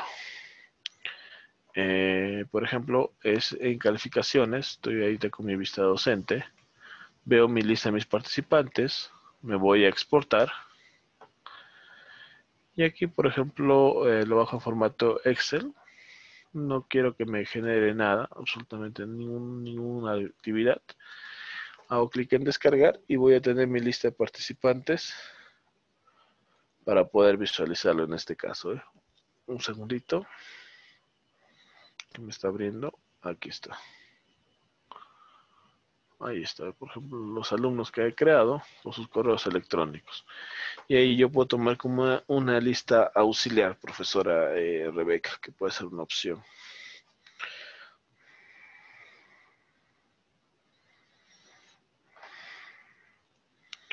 El profesor Samuel me pregunta, maestro, una consulta sobre la actividad de los materiales necesariamente tienen que ser alojadas en un sitio web. No necesariamente, profesor. Usted lo puede subir directamente también a Sola Virtual, pero, ojo, pero, eh, ¿qué puede ocurrir? Que se puede eh, llenar el espacio que está asignado para materiales y ya no pueda cargar archivos.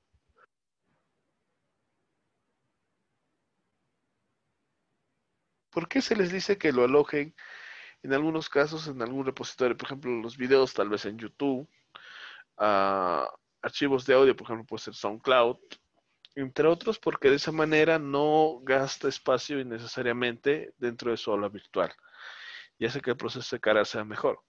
Por ejemplo, si es una lectura, usted lo puede agregar, por ejemplo, en su Drive y compartirlo de manera pública para que lo puedan leer los estudiantes. Y de esa manera ayudarse, profesor Samuel. Pero sí, usted puede subir dentro de su aula virtual un archivo de manera directa. Por ejemplo, creo que en esta aula que estaba haciendo pruebas, por ejemplo, miren, ve, he cargado un video de manera directa que tiene su propio reproductor. Se puede ver lo que se está haciendo, ¿ve? Pero yo lo he cargado de manera, de manera directa el archivo para que pueda ser utilizado. Pero ¿qué puede conllevar? A que haga un consumo innecesario de recursos para este caso.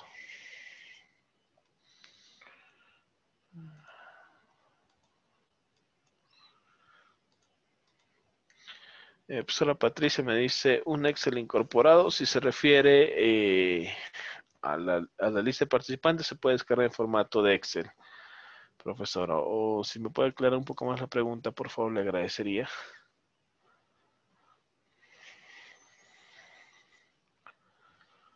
Uh.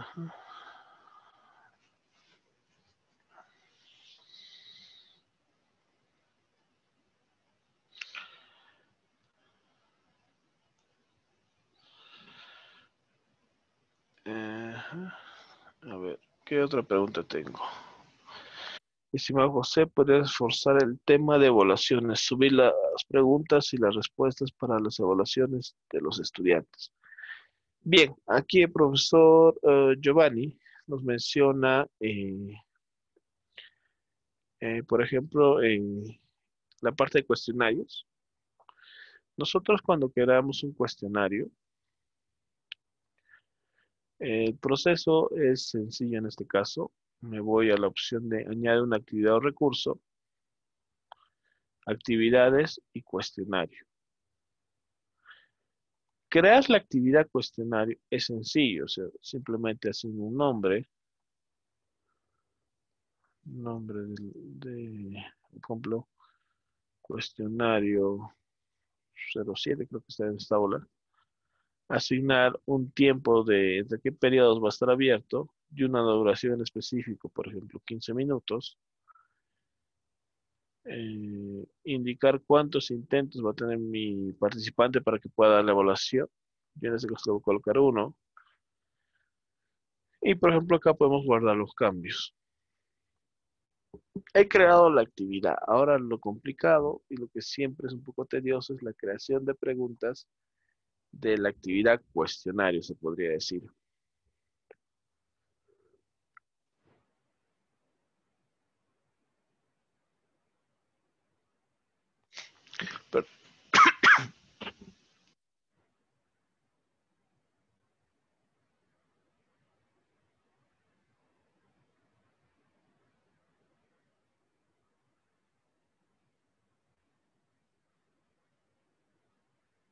Eh, perdón, profesores. Bien, cuando nosotros queramos crear el cuestionario, simplemente nos vamos a editar cuestionario. Y aquí tengo la posibilidad de crear preguntas eh, en específico que quiero utilizar.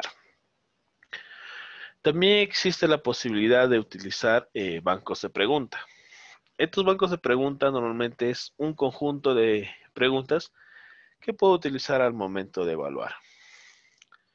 Normalmente cuando se trabaja en cuestionarios se recomienda utilizar bancos de pregunta y utilizar la opción de pregunta aleatoria. ¿Por qué? Porque de esta manera podemos eh, escoger una, cantidad determinada de un conjunto de, preguntas. Por, ejemplo, Si en mi banco eh, tengo 10, 5 preguntas, yo puedo programar que al sistema que de esas 5 preguntas me tome una. ¿Qué va a hacer? Al azar va a elegir una pregunta diferente para cada estudiante, llamámoslos así. Utilizando en este caso las 5 preguntas que se tiene.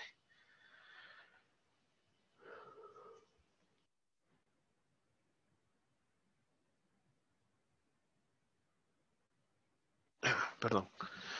Bien, por ejemplo, voy a crear en este caso un banco de pregunta. Voy a banco de pregunta.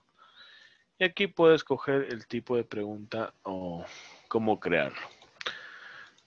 Normalmente, eh, para crear el banco de pregunta, perdón, debo hacer el siguiente paso. Aquí me he ido a otra parte para poder trabajar de manera adecuada. En esta parte que está cuestionario, antes de la opción de ingresar a editar el cuestionario, tengo esta opción del engranaje. Si yo hago clic esta parte y me dirijo a la parte inferior, voy a encontrar este campo que dice banco de preguntas. Selecciono banco de preguntas y escojo la opción que dice categoría. ¿Por qué? Porque de esta manera voy a empezar a ir agrupando mis preguntas. Por ejemplo, puedo colocar eh, por defecto cuestionario 7. Le voy a asignar debajo de esta opción un, un, banco de preguntas. Por ejemplo, preguntas generales. ¿Ok? Hago añadir categoría. Y como ven, se agrega debajo de pregunta por defecto la categoría vuelvo a mi pestaña que es ya no categorías sino preguntas.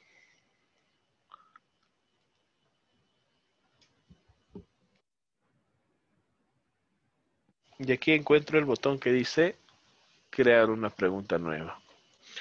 Hago clic, escojo el tipo de pregunta y voy agregando, por ejemplo. Acá siempre debo escoger a qué categoría debo guardar esa pregunta. En este caso, preguntas generales, la categoría que he creado. Y aquí, por ejemplo, puedo colocar eh, eh, que puede ser una buena pregunta. Voy a poner 01. Es un identificador nomás y el enunciado es la pregunta larga en sí, que puede ser, por ejemplo, eh, uh, se me ocurre una pregunta. Es una aplicación que me permite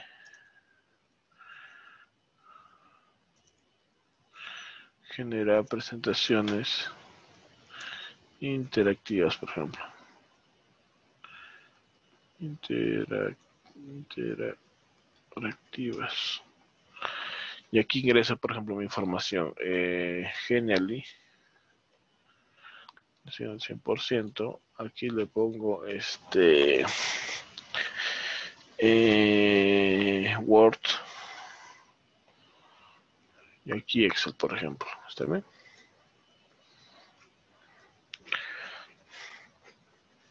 Creo una siguiente pregunta, por ejemplo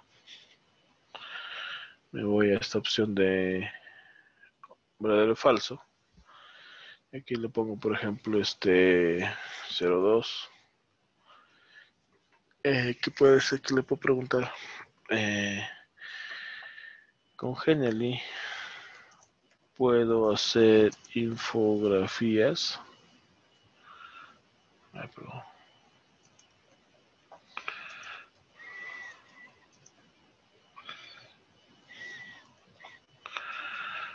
lo pongo eh, verdadero porque es tipo de pregunta falso verdadero. Y aquí le puedo agregar otra pregunta. Eh, puede ser. Mm. YouTube me permite alojar videos. En este caso la respuesta es sí. Y vuelvo a cambio. Simplemente creo dos preguntitas, ¿ok? O tres, perdón. Cuando vuelvo a mi cuestionario, hago editar cuestionario y aquí como ya tengo un banco creado, voy una pregunta aleatoria. Hago un clic aquí. Escojo en qué categoría van a estar mis preguntas. Y me dice número de preguntas aleatorias a mostrar. En este caso, como son solo tres, voy a pedir que solo me muestre una de ellas. Hago clic en agregar la pregunta y como ven, tengo esta característica. Aparece un dadito. Me dice aleatorio pregunta y de qué categoría se obtiene en este caso. ¿Por qué se hace esto? Porque, por ejemplo, cuando mi participante ingrese a esa evaluación, por ejemplo, voy a usar mis dos participantes que tengo aquí en la plataforma. Ahí está. Cuando esta persona ingrese a este cuestionario 7 y esta, esta 7, como ven son dos usuarios diferentes,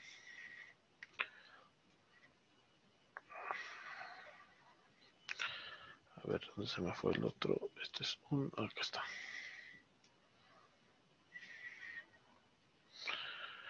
Y ellos hacen clic en comenzar el cuestionario. Va a haber una probabilidad baja de que se repita el mismo tipo de pregunta, como ven. Para Pedrito nos sale esa pregunta de opción múltiple y para eh, Pepito le sale la opción de una sola o falso y verdadero. Para eso es normalmente utilizado la opción de preguntas, profesor. No sé si le quedó claro esa parte.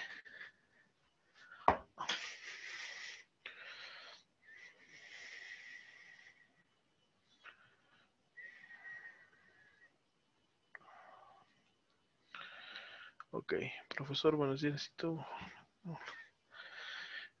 A ver,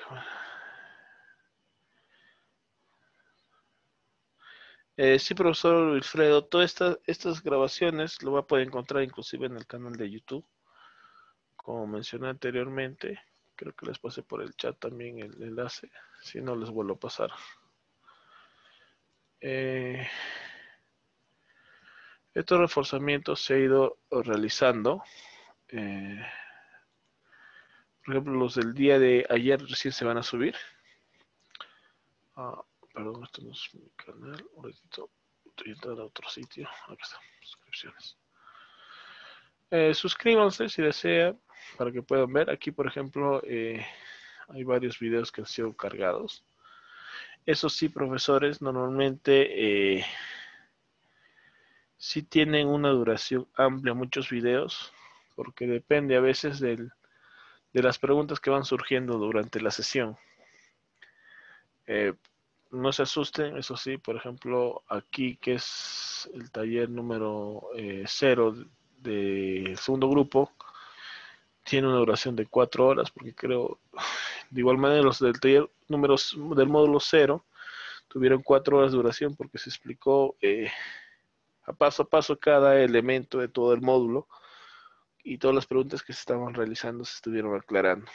Por eso tienen algunos casos, los videos son muy de mucha duración. Eh, básicamente son videos eh, o la grabación en vivo que estamos generando ahorita y es lo que se les brinda, profesores, para que puedan repasar.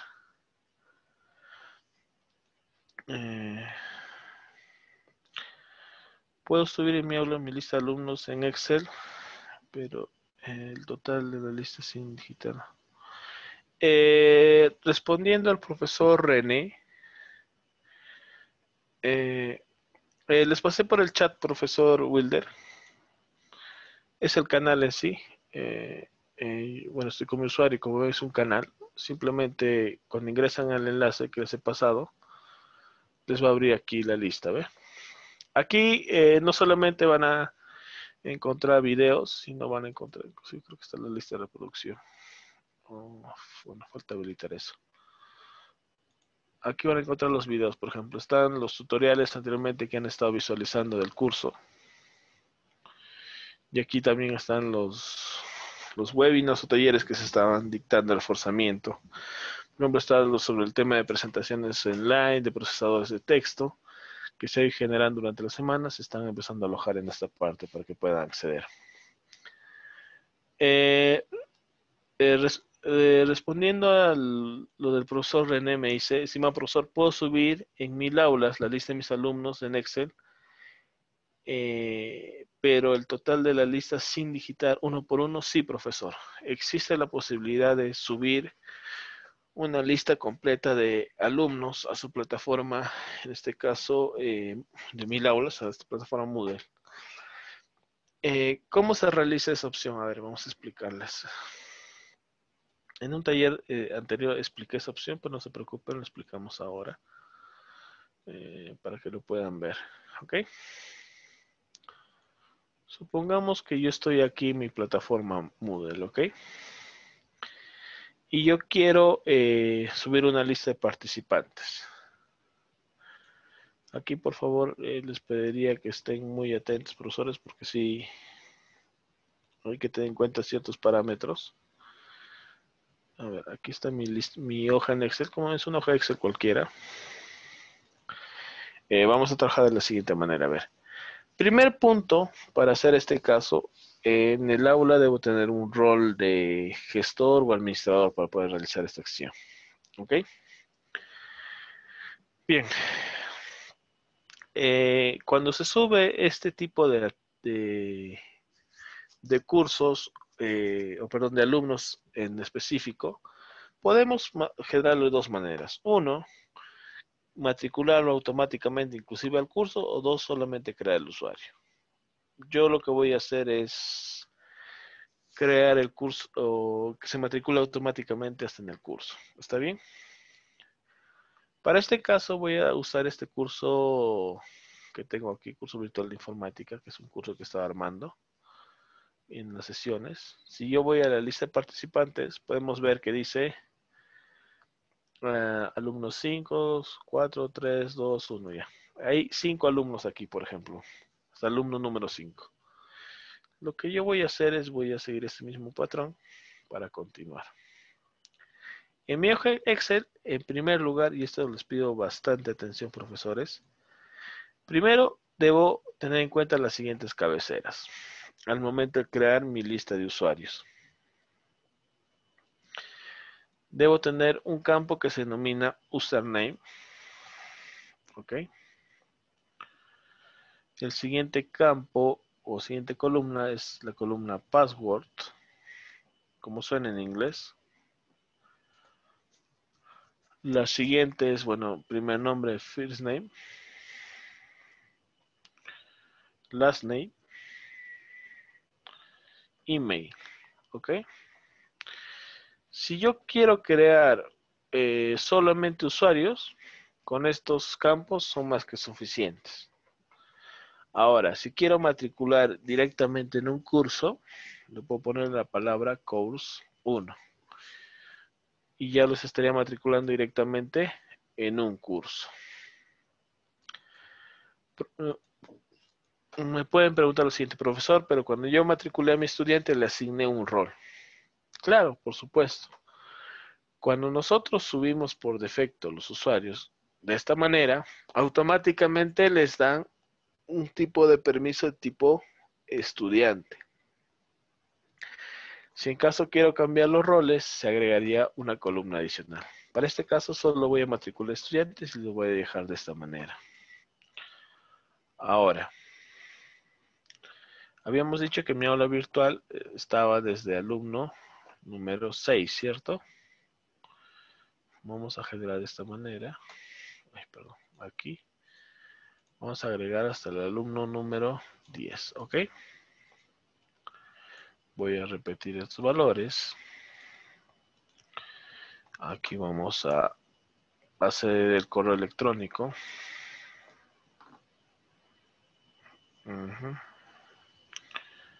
Ay, perdón. Eh, prueba de poner, en este caso.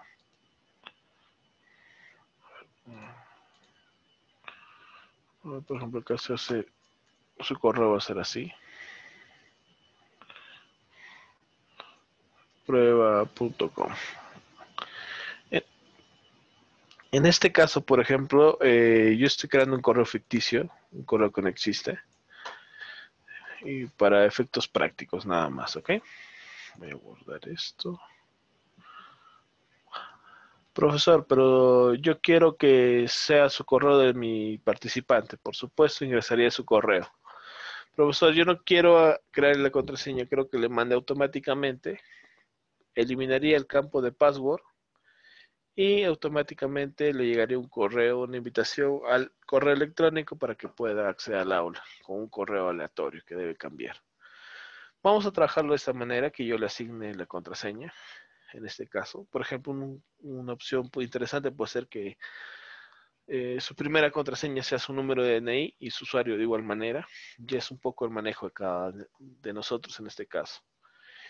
Y aquí, por ejemplo, vamos a llamar que se llama prueba. Y aquí, por ejemplo, a ver, para que sea un poco más personalizado, eh, le podemos crear nombrecitos, por ejemplo, a ver. Eh, en Margarita, por ejemplo. Margarita no sé, a ver, alguna sugerencia de nombres, sino a ver, Esteban, a ver, ¿qué tengo acá? Wilfredo, estoy agarrando nombres del, chat que estoy viendo, eh, René, eh, Giovanni, por ejemplo. Giovanni. Ok. Listo. Yo tengo acá mis estudiantes prueba que tengo en este campo. Esto me va a permitir, ojo, esto me va a permitir eh, cuáles son mis participantes, ojo. Mis participantes que estoy matriculando en mi aula virtual. Pero si yo quiero de una vez que se asigne a un curso, aquí debo colocar el identificador del curso. ¿Cómo obtengo este identificador? Si yo vuelvo a mi aula virtual, que tengo aquí. Eh, no sé si recuerdan cuando crearon el curso, les pidió dos campos iniciales, el nombre largo y el nombre corto. Sí, profe, me acuerdo que nos pidió el nombre corto, pero no me acuerdo. ¿Cómo sé cuál es el nombre corto que le he asignado? Perfecto. Me voy nuevamente a este engranaje, que estoy cuando estoy dentro de mi curso, y hago clic en esta opción que dice editar ajustes hago un clic en esta parte.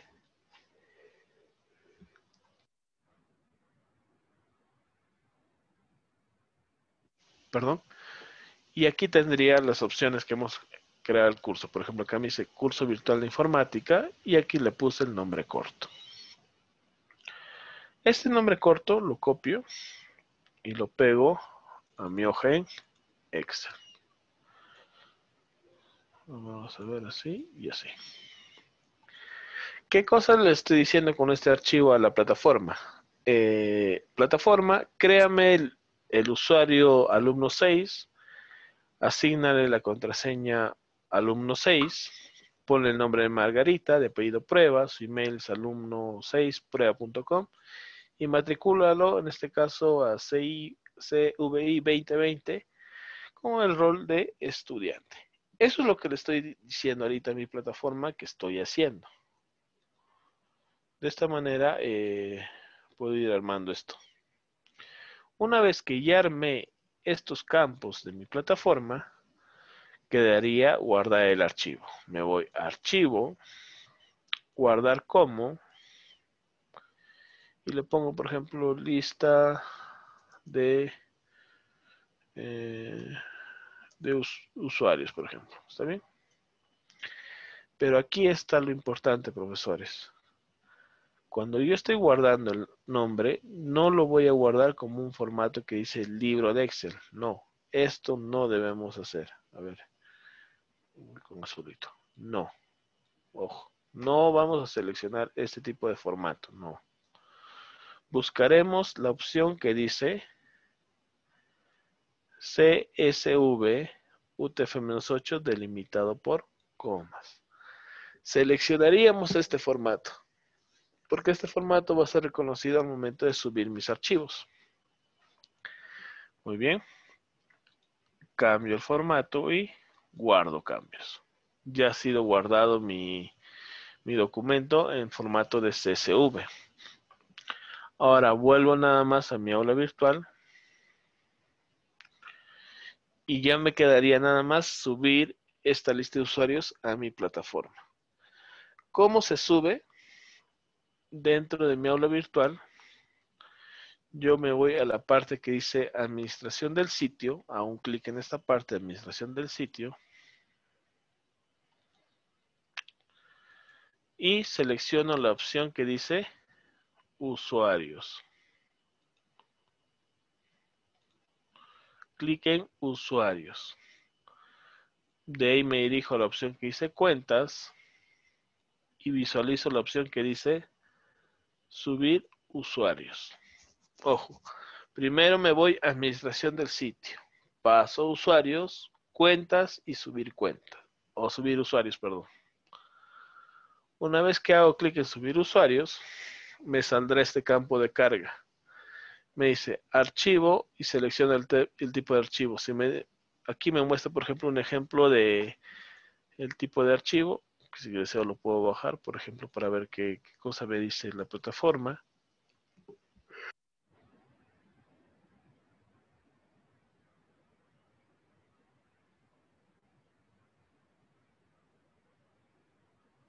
caso, por ejemplo, me, da una referencia, por ejemplo, está usuario, first name, last name, email.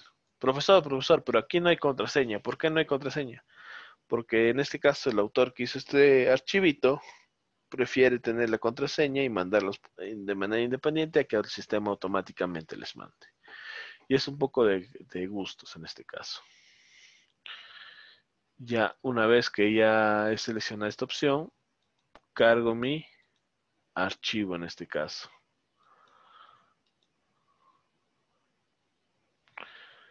El lista de usuarios, aquí está, abrir y subir. Aquí en la parte inferior debo colocar el tipo de limitador. Si es coma, punto y coma, ¿qué se está utilizando? ¿Cómo me aseguro? Abro mi archivo, voy, perdón, a mi explorador de Windows, ubico mi archivo, Clic derecho, editar. Me va a abrir, por ejemplo, el blog de notas y veo que separa cada elemento una coma. Muy bien. Lo cambio a cada coma. Hago clic en subir archivos. O para subir usuarios y espero que cargue nada más. Me da esta ventanita, como se puede ver en este caso. Me dice el usuario, la contraseña, el nombre, el apellido, el email y el curso. Simplemente me voy acá abajito, la opción que dice eh, agregar solo nuevos y pasar por alto los existentes, por ejemplo, lo dejo por defecto. Acá me dice si detecta una contraseña débil, que automáticamente le sugiere el cambio de contraseña puede ser una opción que pueden utilizar profesores. Eh, por ejemplo, usan el usuario y la contraseña, el DNI del participante, activan esa opción que dice usuarios con cuenta débil y automáticamente en su primer logueo le va a salir una página para que actualice su contraseña a una contraseña segura.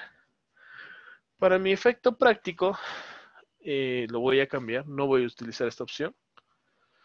Voy a poner ninguno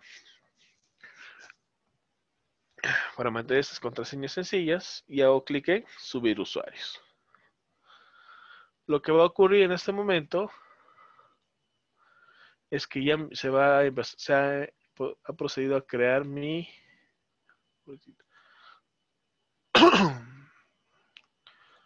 ocultar esta parte. Se ha podido eh, subir mi lista de usuarios. Por ejemplo, a ver un ratito.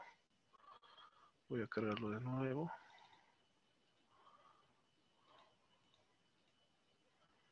Ahí está. Y acá me dice el usuario tal, contraseña, password, toda esa parte ha sido generado. Y ya tengo mi lista de usuarios terminada. Me va a salir el nombre del alumno, su apellido eh, de usuario, si la contraseña si ha sido matriculado, dónde ha sido matriculado para este caso. ¿Ok? Ahora, ¿qué pasaría? Si yo valgo directamente mi curso, que he creado hace un momento, perdón, que tenía hace ya unos instantes, y me voy a su lista de participantes, voy a poder visualizar dicha lista de elementos. Por ejemplo, aquí está, ahí está, prueba 8, prueba 7, prueba 6, prueba 5. Matriculados automáticamente en la misma aula virtual.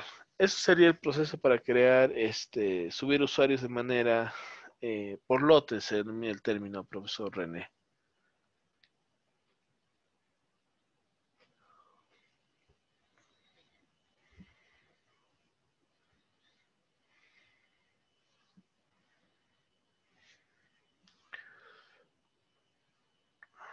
Ok.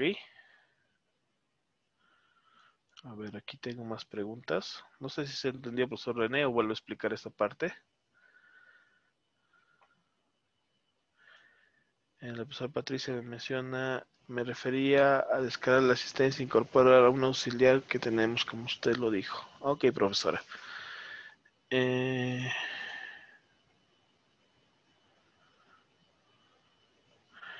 Eh, profesora, para lo que el ejemplo que mencioné hace un momento, ojo que mencioné hace un momento de la lista, es para que ustedes armen eh, su asistencia. Normalmente la lista que bajamos hace un momento muestra la lista de todos los participantes que están inscritos en el aula, más no una asistencia directa. Ustedes usarían la lista para poder eh, marcar su asistencia en el archivo en Excel, en este caso. Eh, como mencioné, profesor Walter, los videos lo va a encontrar en el canal de YouTube. Les he pasado hace un rato el enlace para que puedan acceder. El formulario para el Google Formularios, ¿para qué más se usa, se usa, profesor? Normalmente se usa para dos escenarios, profesora Rebeca. Uno, para tomar encuestas, encuestas de opinión, y dos, para generar pequeñas autoevaluaciones. Son los dos las dos únicas formas normalmente que se utilice. Ahora, en base a un poco de imaginación podemos utilizarlo para otras cosas adicionales. Por ejemplo, para que nos suman algún archivo o entre otros, dependiendo de lo que se va a necesitar. A ver qué me dice.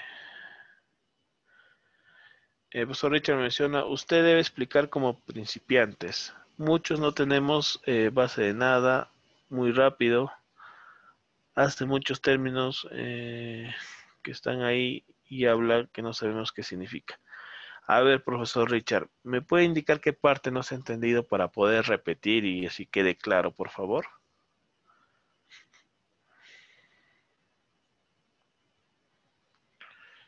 Eh, mientras me está colocando la información el profesor Richard, vamos a ir leyendo esta parte.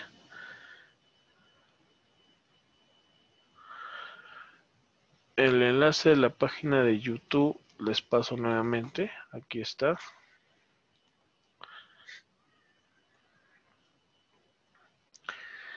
Eh, el profesor con W10 dice, profesor, con todas esas herramientas que está enseñando, ¿habría que hacer trabajo?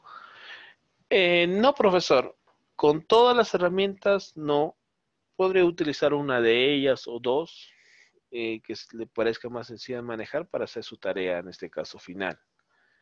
Pero ya con un poco más de práctica y ya para potenciar sus asignaturas, ya podría utilizar más herramientas. Pero ya es un poco decisión de cada uno de ustedes, evaluar qué herramienta les parece más sencilla de manejar. Como mencionamos en la sesión de ayer, bueno, para los que pudieron participar, eh, la elección a veces de alguna herramienta va a depender de, en gran medida de con cuál me siento más cómodo. ¿Ok? Hay que tener siempre ese cuenta, profesores. Existen gran variedad de herramientas para hacer a veces hasta lo mismo, solo que a veces varían por la interfaz o la manera de exportar o, de presentar, pero podemos siempre elegir la que con la cual nos sintamos más cómodos. Eh, por favor, muéstrenle el, enlace nuevamente. Si ya les pasé el enlace del, video. ¿Podría, por favor, eh, pasar los enlaces más tarde? Ok, profesores, aquí están los enlaces. Aquí también va a empezar a aparecer, no se preocupen. Eh, bien, acá me dice profesor Wilder. ¿Podría Repetir para poder poner el cuestionario de preguntas. Perfecto, profesor.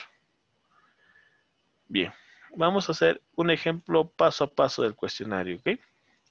Anteriormente ya se ha trabajado en los reforzamientos de los módulos ceros, pero no se preocupen, vamos a hacer un paso a paso sencillo, ¿está bien? Voy a hacer estas pestañas que no, no las voy a necesitar, ¿está bien? Para no confundirme.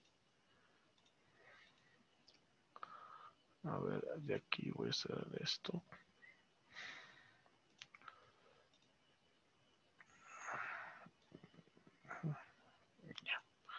Aquí está. Eh, estoy en mi aula virtual, ¿ok? Eh, cuando nosotros creemos, eh, voy a crearlo en, otro curso. vamos a ver, por aquí tengo otro curso creado.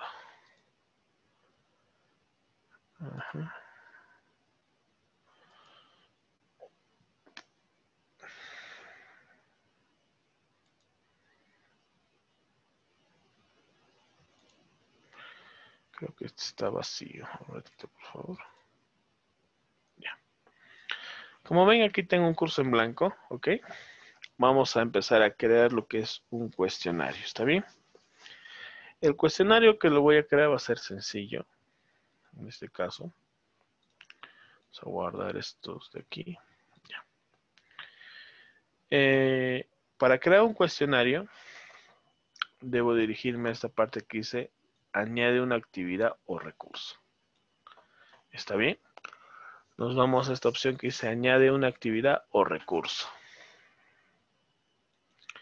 Hago un clic en esta parte y para crear un cuestionario debo dirigirme a la opción que dice actividades y selecciono la opción que dice cuestionario. ¿Ok? Me voy a esta parte de cuestionario. Eh, lo voy a llamar cuestionario 01. ¿Ok? Eh, si deseo, yo puedo agregar una descripción. Por ejemplo, puedo poner la duración de la evaluación, número de intentos y otras opciones que yo deseo colocar. ¿Ok? Me voy nuevamente a temporalización. En temporalización yo voy a indicar entre qué fechas, ojo, entre qué fechas va a estar disponible mi cuestionario. ¿Ok? Si yo quiero, por ejemplo, que esté habilitado del día de hoy desde las 8 de la mañana hasta la medianoche, configuraría de esa manera el fecha de inicio y fecha de fin. Para este efecto práctico lo voy a dejar abierto. No voy a cambiar este parámetro, pero el que voy a cambiar va a ser esta parte que dice límite de tiempo. La opción del límite de tiempo me indica ¿En qué momento o cuánto tiempo va a durar mi evaluación? Puede ser cinco minutos, un minuto, eh, media hora, una hora, dependiendo de cómo yo lo programe en este caso. En este caso, eh, voy a hacer un cuestionario un poco rápido. Le voy a decir que me dure solamente cinco minutos. Un fast test voy a hacer. Punto siguiente, me voy a la opción de calificación. En calificación voy a tener estas opciones que se ve aquí. Intentos permitidos y método de calificación. Intentos permitidos, ¿qué es? La cantidad de veces que un participante puede ingresar y dar respuesta a mi cuestionario. Para este caso, yo voy a programar que solamente me dé un intento. ¿Ok? Hago clic en 1, automáticamente desaparece el de abajo y ya tengo configurado. En opciones de revisión, profesores, normalmente eh, debemos tener en cuenta que esto se va habilita o deshabilita para ver la retroalimentación de las preguntas. Si yo quiero que solamente se vea la nota, simplemente debo dejar activado esta opción que dice puntos. El resto debo quitar el check. Simplemente activo la opción puntos. Y de esta manera ya no van a poder ver cuánto ha sido la nota que, eh, o perdón, eh, solo van a poder ver la nota que han sacado, más no alguna respuesta correcta o incorrecta que se puede estar generando. ¿Ok?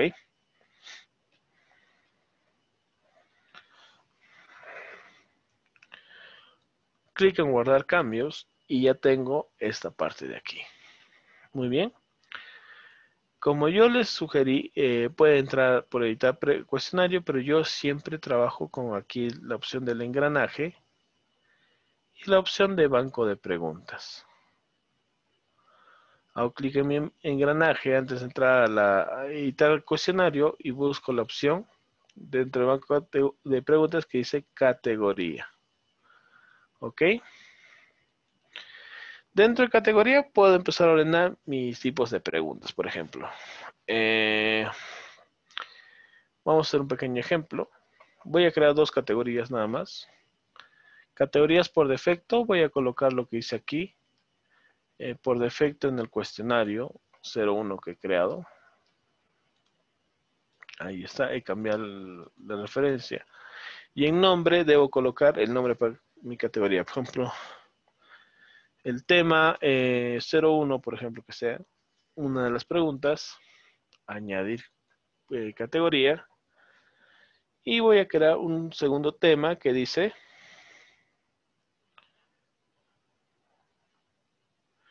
eh, tema 02, ¿ok? Añadir, y ya tendría, por ejemplo, en este caso, creado dos categorías que están en base a temas de trabajo, que puede ser eh, una opción si quiero organizarme de esta manera, que es válida. Otra opción podría ser, por ejemplo, este colocarlo eh, por puntajes. Por ejemplo, yo quiero tomar preguntas de una determinada cantidad de puntos, puedo poner preguntas de cinco puntos, de dos puntos, de un punto, y en base a lo que esté necesitando. Eso me va a poder ayudar, por ejemplo, mucho referente a esta parte del trabajo que se pueda tener. ¿Ok? Bien. Como ven, he creado simplemente dos categorías enfocándonos en temas en específico del curso. Y en base a estos temas, voy a poder eh, crear una determinada cantidad de preguntas. Para este caso, debo hacer clic ahora en preguntas y agrega mis preguntas en este caso.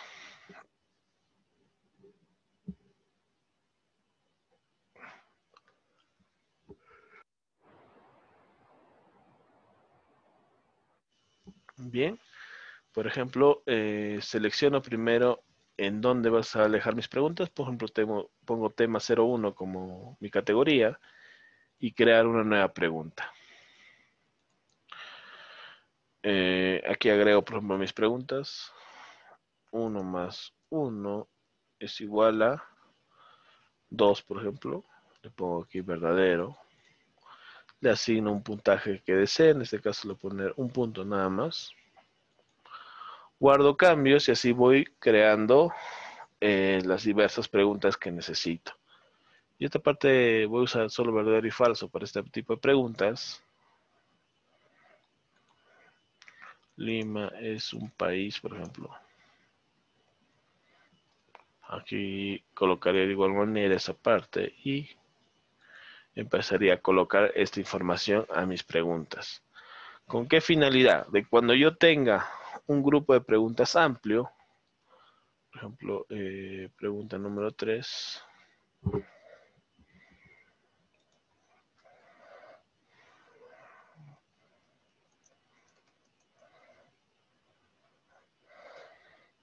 Ahí, por ejemplo, Google es un buscador, le pongo aquí verdadero.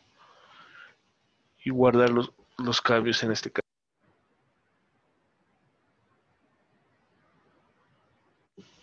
Bien, como ven ya tengo tres preguntas. De igual manera puedo empezar a crear preguntas en esta parte de mi de mi calendario, o perdón, de mi banco de preguntas. Puedo seguir agregando más preguntas.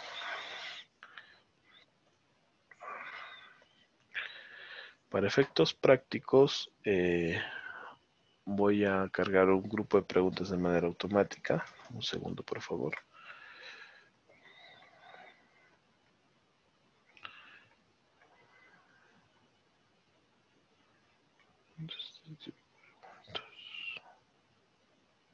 Okay.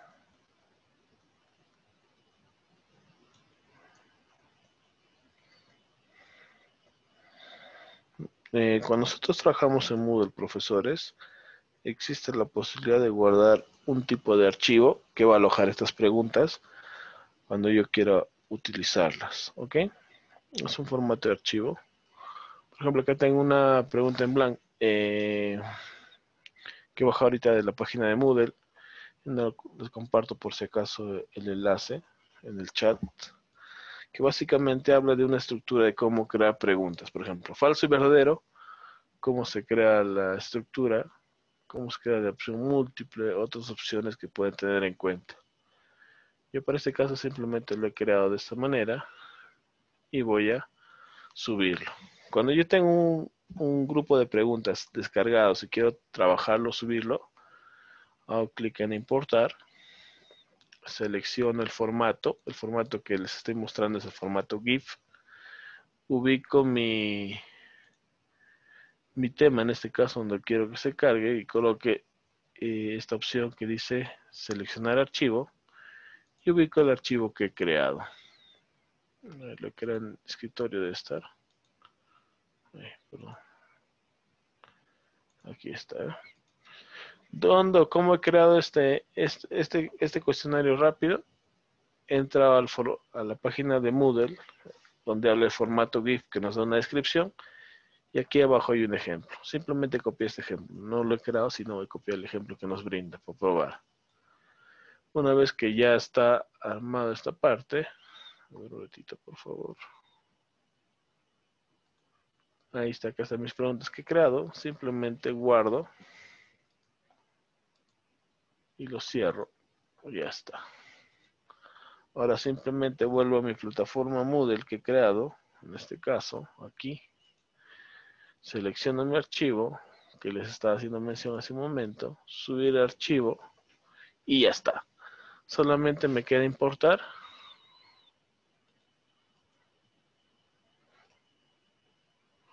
Y ya está aquí, ¿ve?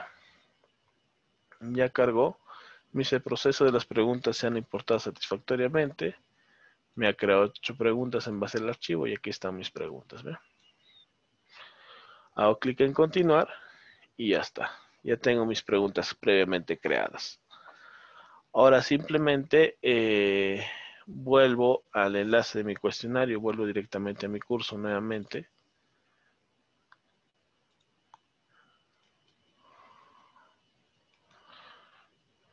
A ver, ahí está. Está mi cuestionario, hago clic en mi cuestionario, hago clic en editar cuestionario y agregar preguntas, en este caso de una pregunta aleatoria. De mi categoría del tema 1, quiero que me obtenga solo una pregunta. De la categoría de... ¿Dónde está? Ahí está. De la categoría del tema 2, eh, por ejemplo, que me agarre este, dos preguntas, por ejemplo. Selecciono mi tema, coloco dos preguntas y ya está. Ahora, cuando el participante dé la evaluación, automáticamente se le va a generar preguntas aleatorias para poder trabajar. No sé si se entendió ahora sí, profesor. Disculpe.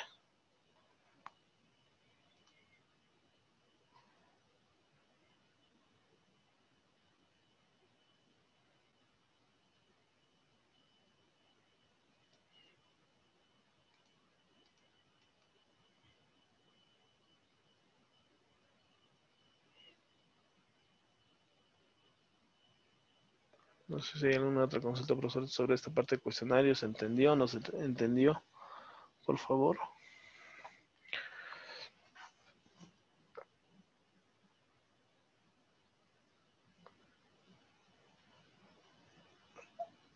Aquí el profesor Wilfredo me menciona cómo podría enviar el cuestionario a un estudiante en un enlace externo para que pueda contestar por otro medio distinto o diferente al, a mil aulas. Bueno, Eh, eso va a depender un poco, profesores, si, usan una plataforma. Si en caso no utilizan una plataforma, usted puede crear una pequeña evaluación en lo que viene a ser este, la aplicación formularios,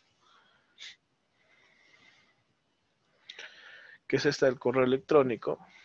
Si ustedes tienen, eh, crean un nuevo documento, existe la posibilidad de cambiarlo a un modelo de autoevaluación, en el cual eh, simplemente el estudiante necesita el enlace, ingresar la información que usted le solicite y responderlo. Obviamente tiene un apartado de preguntas de opción múltiple y de preguntas de respuesta.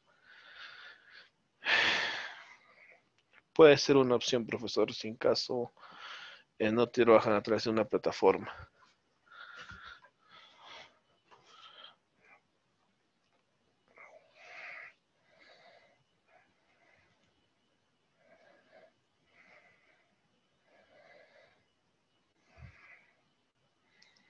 No sé si más o menos me entienda o prefiere que le haga un ejemplo, profesor eh, Wilfredo.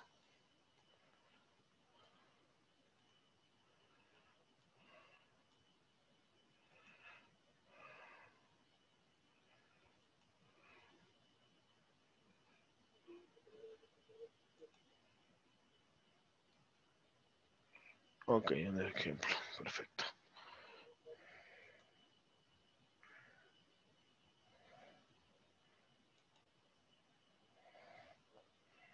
A ver, un segundito, por favor.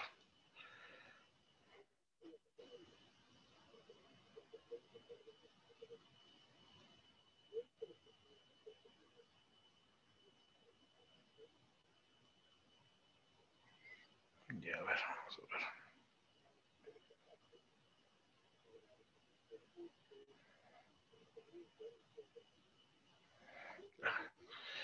No encuentro el tutorial que armé, pero bueno, está bien. Vamos a hacer, ¿ok?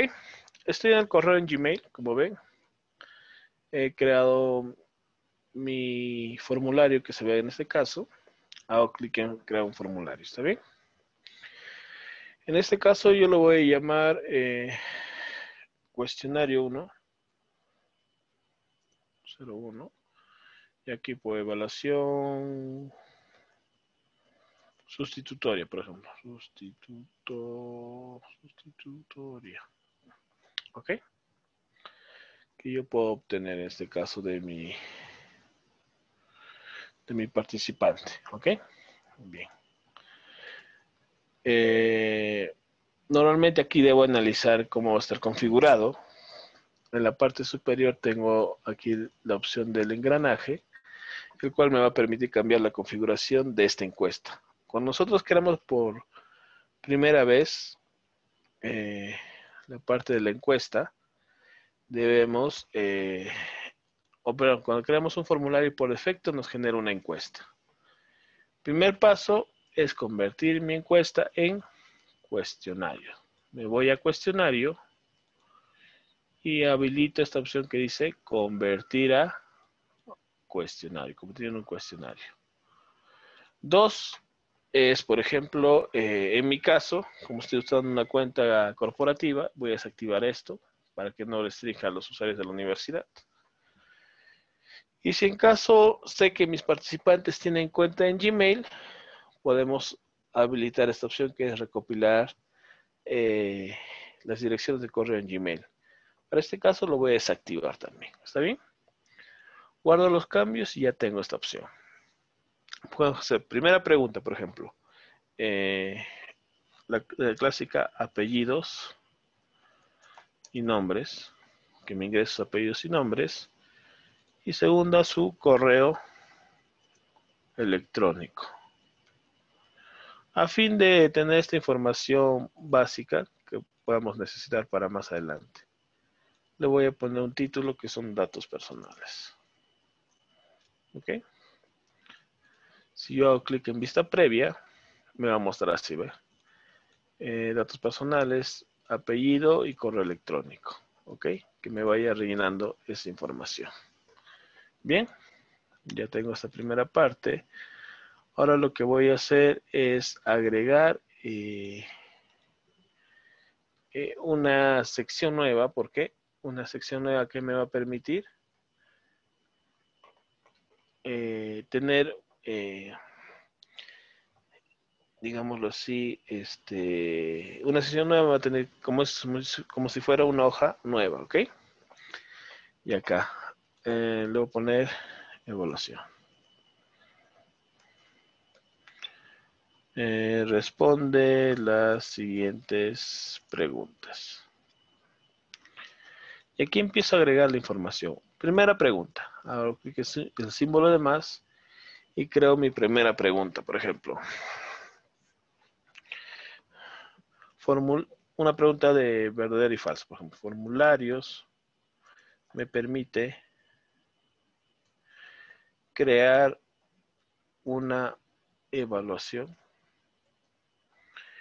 y aquí tendría que seleccionar sí y no, por ejemplo. Una vez que yo he creado la pregunta y he añadido las alternativas, aquí en la parte inferior debo agregar la opción que dice clave de respuestas. Hago clic en esta parte.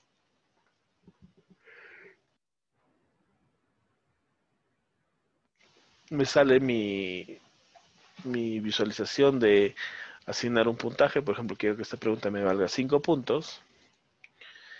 Y la respuesta es sí. Marco en este caso mi respuesta correcta. La sí. Listo y ya está terminado. Siguiente pregunta, por ejemplo. Eh, ¿Qué otra pregunta puede ser? A ver, ¿alguna idea? Eh, no es un navegador web, por ejemplo. Opción de múltiple, le voy a poner Firefox, eh, Edge, Google Chrome, eh, Google. Okay. Eh, sí, profesor Wilder, es como el Classroom básicamente. Yo he creado aquí mi pregunta, añadí clave de respuesta, marco mi respuesta, cinco puntos, y listo. ¿Por qué es parecido al Classroom? Porque nosotros cuando creamos, ojo, cuando trabajamos con Google Classroom, estamos usando una cuenta en Gmail. Y de igual manera, esta herramienta de formularios está en Gmail. Solo que cuando creamos en, en o perdón, creamos la evaluación en en, en, en Classroom automáticamente nos pasa autoevaluación. No queremos hacer el cambio como realizamos ahorita, convertir una, posible encuesta en una autoevaluación. Eh, ya tengo mi respuesta marcada. Nuevo, eh, agrego otra opción, por ejemplo, eh, plataformas de videoconferencia, por ejemplo.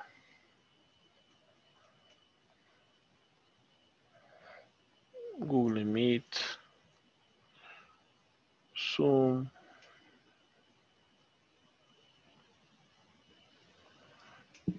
Otra opción que es este Zoom, Zoom eh, Blackboard Ultra.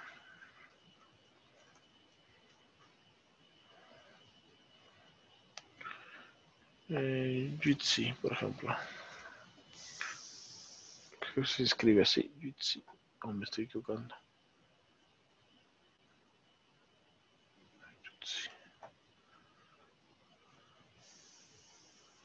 Bueno, mejor lo quito porque no me acuerdo cómo se llama, sino Big Blue Button. Ya. Añadir clara respuesta. Acá está, cinco puntos. En este caso voy a cambiar el tipo de pregunta que es esta. Ok, ya está. Y así yo puedo ir creando mi cuestionario. Ahora, supongamos que es a 15 puntos, ¿está bien? Para no alargar mucho más esta parte. ¿Qué pasa si yo, por ejemplo, les doy la, evaluación, por ejemplo, de esta manera? Eh, les paso el enlace para que puedan visualizar la, eh, la evaluación si desean, lo pueden dar. No hay ningún problema. Vamos a ponerle un enlace corto para que se vea más bonito. Ahí está. como ven, yo ya tengo el examen, ¿ok? Ya tengo mi examen creado, como ustedes han podido ver como Classroom, como menciona el profesor Wilder. No hay ningún problema. Aquí mi participante va a ingresar y va a dar la evaluación. Ahora, ¿qué ocurre con esto? Eh, normalmente aquí eh, no se trabaja con banco de preguntas, como se trabajan, hemos visto anteriormente. Eh, son preguntas estáticas. Y dos, hay una pequeña limitante, que es el tiempo de duración. Por ejemplo, por aquí les hago la pregunta, profesores. Eh, ¿Cuánto eh, dura mi examen en este caso? ¿Qué me pueden decir de este, este cuestionario que he realizado ahorita? ¿Cuánto, ¿Cuánto va a durar, por ejemplo? El estudiante, ¿cuánto tiempo va a tener para responder estas preguntas? ¿Quién me dice? Si inicia ahorita, por ejemplo. Eh, me dicen 45 ya. ¿Cómo, ¿Cómo limito esos 45 minutos? ¿Qué de esos 45 minutos, por ejemplo?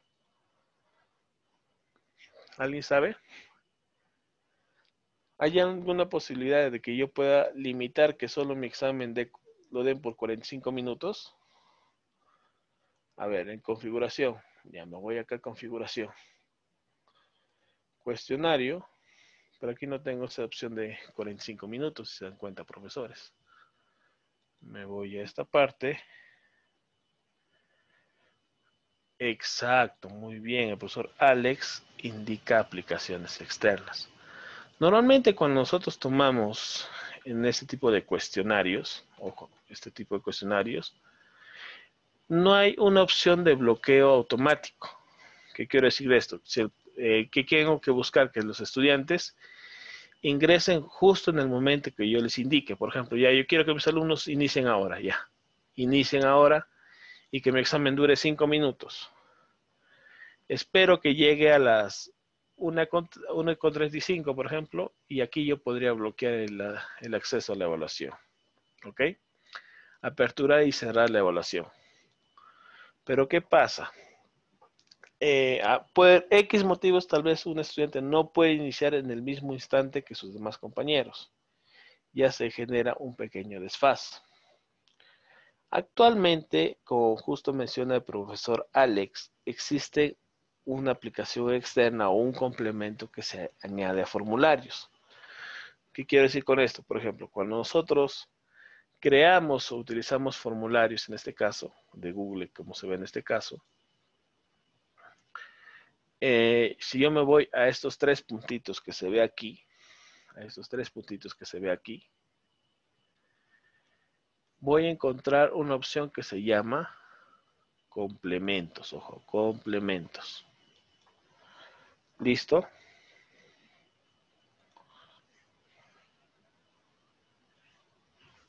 Muy bien. Y aquí vamos a buscar un complemento interesante que se llama Time eh, Me. Ok, acá está, justo ahí está. Aquí está en el buscador, ponemos Time Me Fee. Aquí está el complemento. Bueno, yo lo tengo instalado, ustedes lo pueden instalar. Normalmente cualquier aplicación de Gmail, ojo, de Gmail, eh, tiene esta posibilidad de agregar este tipo eh, de complementos. Aquí tengo el Fee. Hago un clic en esta parte y aquí voy a tener la opción de instalar. Este complemento, ¿qué me va a permitir? Me va a permitir agregar elementos eh, o un contador adicional a mi, a mi presentación, por ejemplo, en este caso. ¿Ok? ¿Con qué finalidad? De que yo pueda limitarles el tiempo. Como hemos visto en Moodle, ¿se acuerdan? que podíamos colocar un tiempo determinado la duración de mi examen. De igual manera, puedo generar ese tipo de opción eh, con esta parte. Muy bien. Hacemos clic en instalar y se va a instalar en un campo que se denomina complementos o van a poder ver este icono que parece una pieza de rompecabezas. ¿Ok? Una especie de rompecabezas en este caso. Muy bien, Si yo clic aquí en esta opción de rompecabezas, van a poder encontrar o ver que yo tengo aquí el Timing instalado. ¿Ok? Hago un clic en esta herramienta y se me va a aperturar este, el acceso a agregar esta opción. A ver, un segundito por favor, que no se me está habilitando. A ver.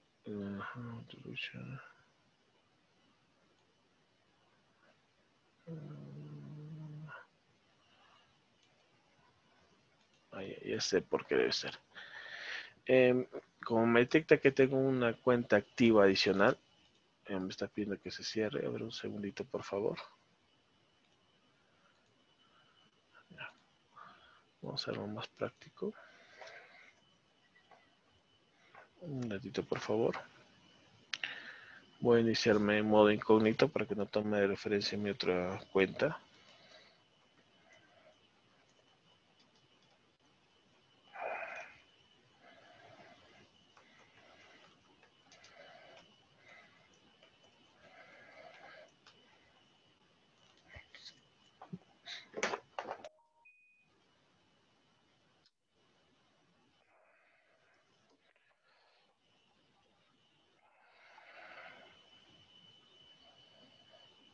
Un segundito, por favor.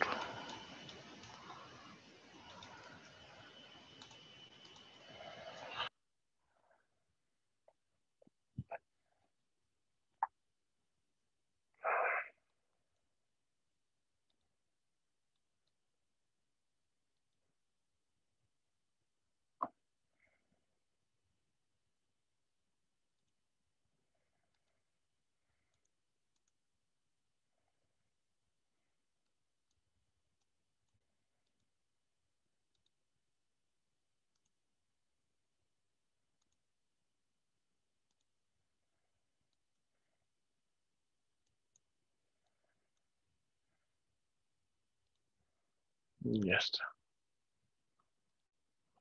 Perdón, que sigue sin cargar. Y he abierto mi en modo incógnito. Ya me voy aquí a la opción de configuración que me da, me va a aperturar esto. ¿eh? Me va a decir esta opción que dice, aquí está con qué cuenta está conectado, como pueden ver. Me dice, eh, por favor, Timmy requiere que Google tenga acceso a tus requerimientos, habilitar Temim en ese formulario. Hago clic en esta parte. Se va a vincular a mi cuenta. Eh, hoy, que ya tenía una cuenta activa en esta parte. Y lo que va a ocurrir es que ya está vinculado. Un paso importante en este caso es ingresar también a la página del Timing. Timing mi Ay, ¿cómo se escribe? Time fini, a ver. Ahí está, aquí está. Que es un timer, un timer de, en el caso del computador, hago clic, eh, continuar con Google. Y aquí está, por ejemplo, los cuestionarios que voy creando en este caso. Acá le he puesto evaluación sustitutoria, se acuerdan que he creado hace un momento, tiene la misma denominación. Crear test, por ejemplo, y aquí yo puedo ir agregando estas opciones. Si quiero generar un enlace público, lo puedo generar. Previo registro, yo ya veo una manera de cómo generar. Voy a utilizar en este caso solamente una opción de prueba para que puedan ver. A ver, acá está crear test voy a crear eh, para una persona específica, por ejemplo, para alguien que nombre a José, le asigno 5 minutos y pongo create, por ejemplo. Él, por ejemplo, le paso este enlace directo como para usuarios específicos, en este caso, y miren lo que pasa. Evaluación sustitutoria, 5 minutos. Clic en Open this form, en este caso, y como ven, aquí está, ¿ve? el mismo cuestionario y yo tengo la parte superior, ya tengo el contador. Simplemente debo eh, ingresar los nombres, el correo que le pedí, por ejemplo. Ok. Hago clic en siguiente. Ya puedo empezar a responder mis preguntas en este caso. Y aquí me parece un campo adicional. Este campo adicional normalmente no se modifica. ¿Por qué? Porque es un identificador del mismo timing. Simplemente hago clic en enviar y ya está la evaluación. Cuando se termina y se envía, automáticamente la configuración es cargada a la plataforma. Y yo, por ejemplo, vuelvo aquí a mi vista de edición que tenía aquí. Y aquí tengo, por ejemplo, los eh, valores que han sido agregados. Y ya tengo así. Y yo tengo esta manera, es un identificador que ha sido activado dicho elemento para esta parte. A ver, tengo al profesor Walter que levantó la mano. Sí, profesor Walter. Dígame, ¿cuál es su consulta?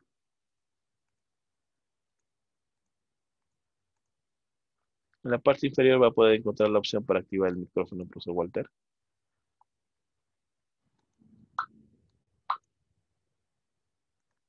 Hay un símbolo, un microfonito para que lo pueda activar.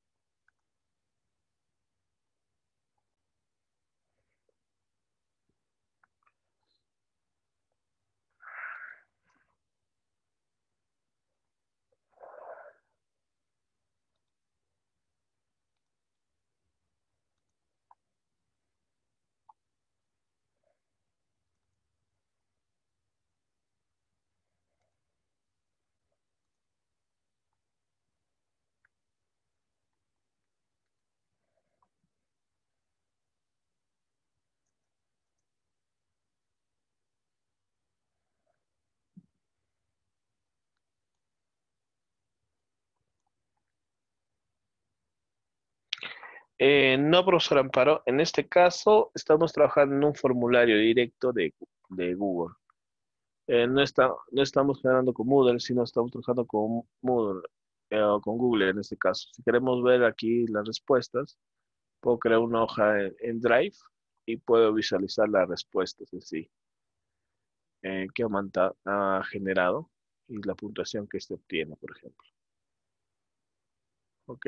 Solo es eh, lo que hace este complemento del time fee, te permite generar un tiempo límite en cuanto al trabajo de, resultados para que se pueda trabajar.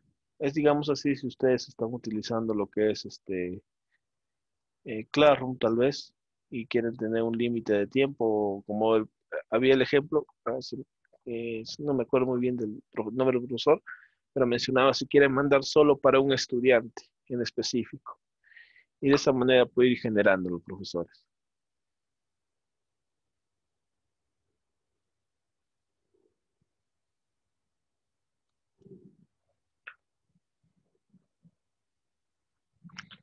Para el envío de resultados simplemente tendríamos que cargar la nota, eh, generar una actividad y cargarlo la nota, profesor, en este caso.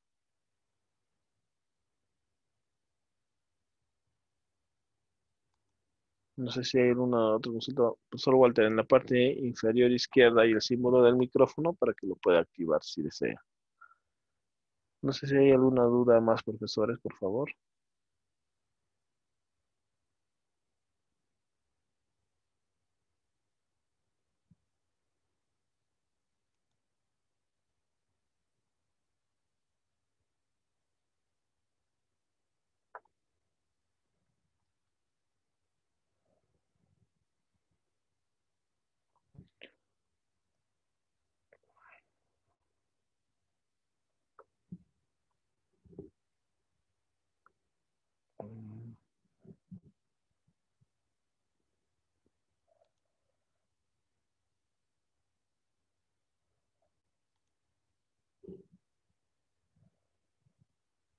Ah, a ver, le he trabajado el cuestionario en formularios, como se ve en este caso, profesor Wilder. Y esta es la aplicación que les permite eh, agregar la parte del tiempo. Tienen que agregar esa, esa aplicación a su formulario para que puedan trabajarlo sin problemas. En mi caso, por ejemplo, ¿por qué me salió al inicio un error? Es porque yo tenía dos activos, de, dos, dos cuentas activadas de, Gmail en la misma sesión y obviamente me detectaba eh, parte de, no sabía cuál, cuál activar, por eso generaba una, una ventana incógnita para esta parte de trabajo.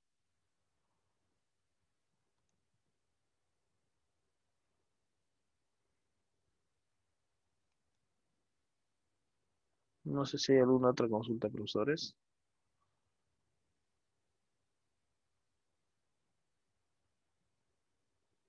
Ah, no, eh, no es para que eh, puedan dar un cuestionario, profesor Wilder, sino es para que básicamente vean cómo se realiza esta opción. El link para el Ah, ok. Para realizarlo en Gmail, eh, les voy a mandar el enlace directo en este caso. A ver. Es esta la dirección directa de la aplicación formularios para que puedan acceder y puedan crear sus propios formularios en este caso. Eh, profesor, por favor, puede repetir lo que explicó Emil habla sobre registrar estudiantes y puede exportarlos. Ah, se refiere, profesor Hugo, a matricular de manera en lote los o manera masiva los exámenes. ¿Se refiere a eso? O para los exámenes que estoy hablando. Los usuarios para el Moodle, por favor, si me aclara esa parte, es lo que refiere.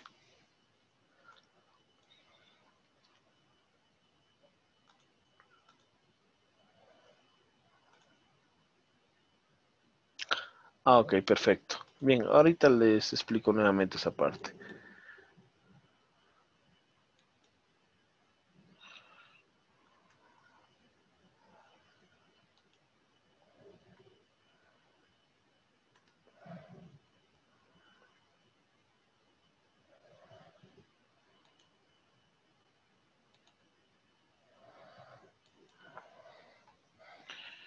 Eh, por ejemplo, aquí, eh, si quieren un poco más de esta opción del formulario que les mencionaba, para que creen sus autoevaluaciones, en un taller pasado estuve trabajando ese tema. Eh, les dejo, por ejemplo, el enlace del video en el chat, desde más o menos en qué tiempo se empezó a hablar de ese tema. ¿Está bien? Para que puedan tenerlo y ampliar un poco más de esta parte de los formularios. Bien. Respondiendo a la pregunta del profesor Hugo. Nosotros cuando creemos o subamos por lote una lista de usuarios, ojo, por lotes, básicamente. El primer paso es, debemos tener un rol de gestor o administrador en la plataforma para poder subir esta, de manera lote esta parte.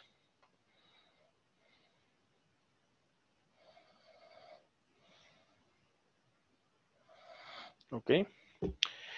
Y eh, empezamos a crear, ¿ok?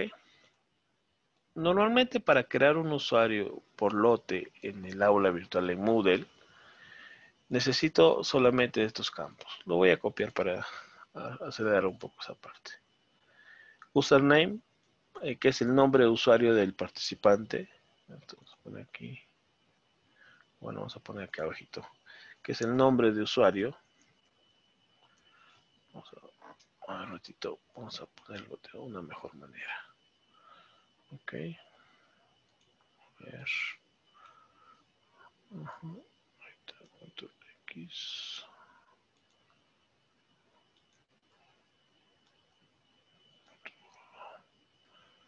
Vamos a ponerlo aquí si no.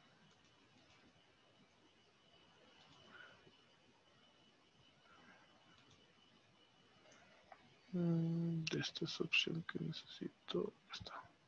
Ahí está. Ok. El username es el nombre de usuario. Usuario del participante. Eh, nosotros, por ejemplo, podemos tomar aquí como referencia signales, por ejemplo, eh, por ejemplo, perdón. Ah, por ejemplo, le puedo poner, por ejemplo, eh, puede ser el número de DNI, puede ser combinación, eh, combinación de letra inicial y apellido, por ejemplo, un ejemplo así. podemos usar ese tipo de elementos para poder generar este tipo de opciones. Voy a ajustar este texto porque se ve mejor. Y combinar. Listo. Ok, pueden usar ese tipo de elementos para poder generar esta parte. Vamos a, vamos a, ahí está.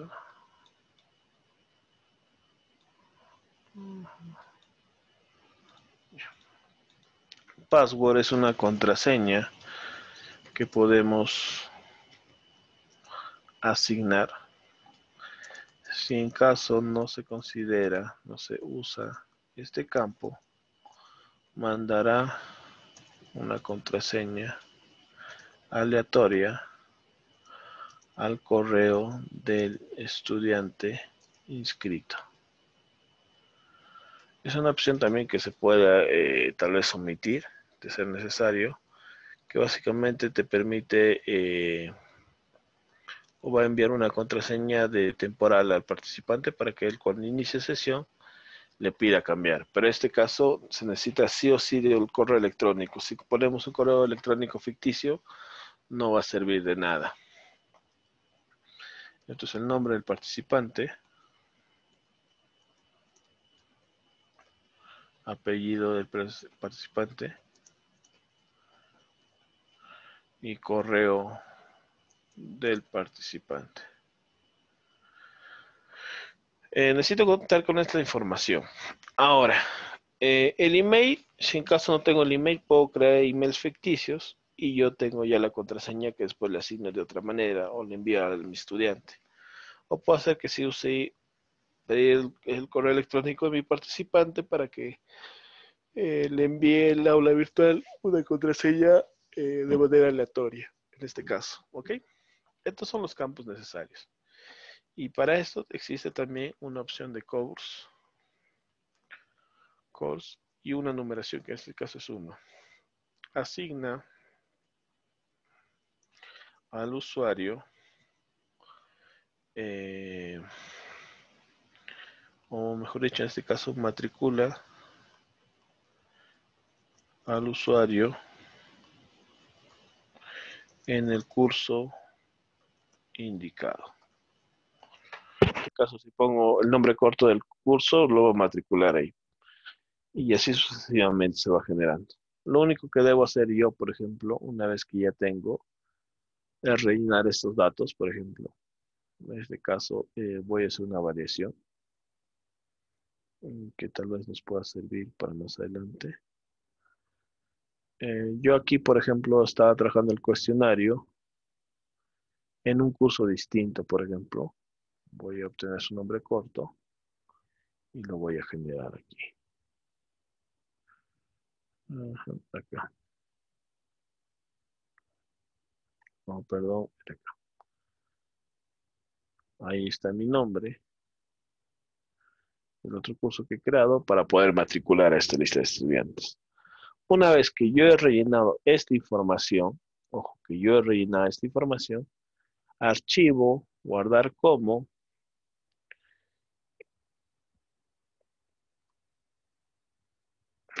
archivo guardar como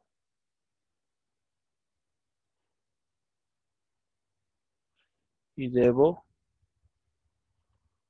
eh, escoger el tipo de formato de momento de crear como UTF-8 delimitado por comas. Ese formato sí se puede encontrar en el momento de Excel. Cambiamos ese formato y lo guardamos, por ejemplo.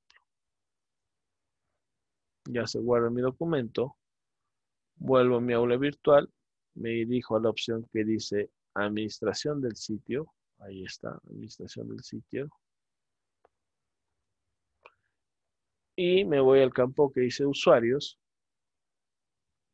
cuentas y subir usuarios. ¿Ok? Ahora, el archivo que acabo de crear, simplemente lo selecciono aquí. Se llama lista de usuarios 2, si no me equivoco. Abrir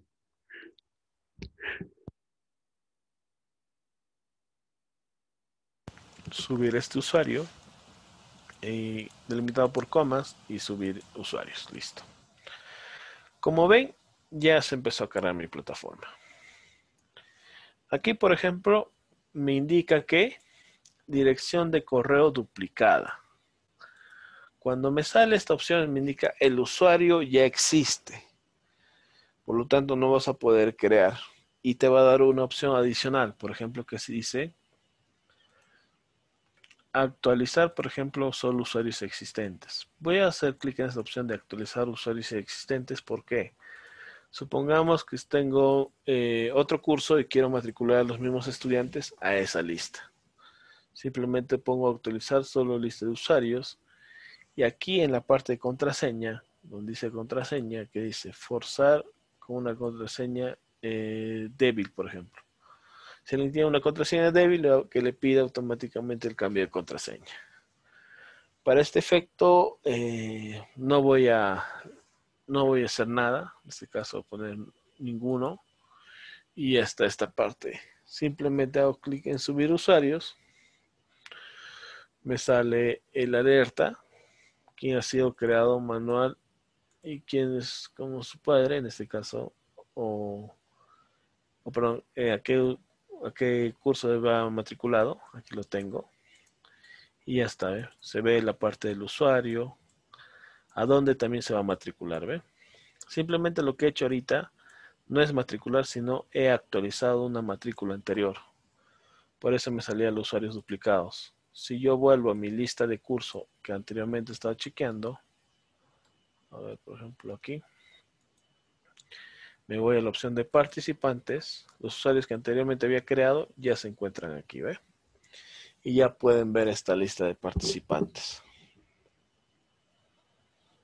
Bien, me preguntan aquí, eh, no sé si se entendió, profesor Hugo, cómo se hace para subir esta parte de los archivos. Aquí un espectador anónimo me menciona cuáles son los pasos para crear cursos. Primer paso, a ver, tener la cuenta de la plataforma Moodle. En este caso, en mil aulas estábamos trabajando. Segundo paso, irnos a la opción administrar sitio. ¿Ok? Nos vamos a administración de sitio, como se ve aquí. Tercer paso, paso número 3, dentro de administración de sitios, ubicar la opción cursos. Cuarto paso, dentro de la, eh, la opción de cursos, ubicar el campo que dice administrar cursos y categoría. Es el cuarto paso en este caso.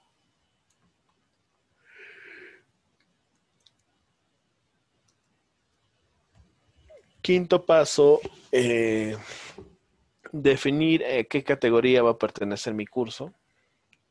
Si yo tengo cursos previamente creados, puedo escogerlo. Eh, yo voy a usar que esté este curso en esta categoría. Selecciono mi categoría.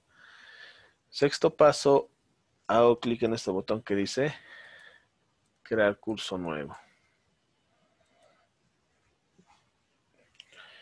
Eh, séptimo paso es rellenar los campos que te solicita al momento de crear el curso.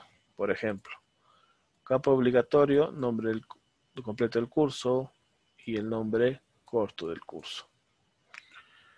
El nombre del curso, por ejemplo, puede ser eh, curso virtual de eh, informática o programación.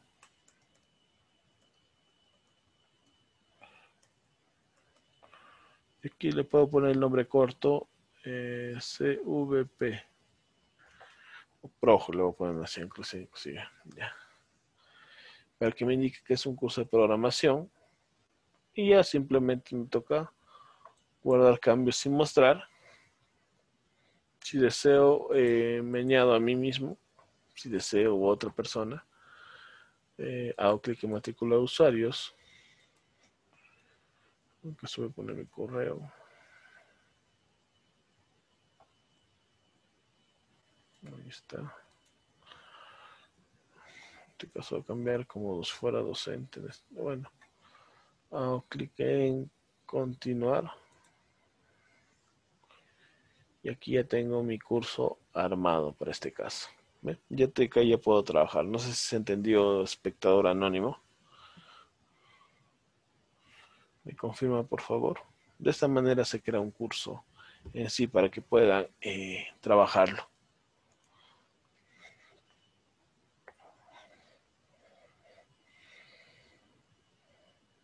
Ok, perfecto. Eh, me dice, buenas tardes, no sé si podrá repetir toda la clase. Queda grabada y cuándo la lista. Eh, toda la clase es, todas las clases son grabadas, va a estar en el canal de YouTube como les estuve mencionando, profesores. Va a hacer un cambio para los otros cursos. Eh, sí, profesor, si yo tengo un curso y quiero obtener la información para otro curso, ojo, por ejemplo, yo tengo, eh, a ver, trabajamos con estos dos cursitos que tengo, ¿está bien? Eh, este es un curso en blanco, como pueden ver, ¿está bien? Yo tuve o tengo otro curso matriculado aquí, que es curso de informática, y aquí tengo un curso de programación, ¿cierto? Yo quiero pasar la información que está en este curso de informática a este curso de programación. Se puede hacer eh, eh, de esta manera, ¿ok? Primero, debo ubicarme en el aula destino. ¿Dónde quiero que llegue mi información? En este caso es el curso virtual de programación, ¿ok?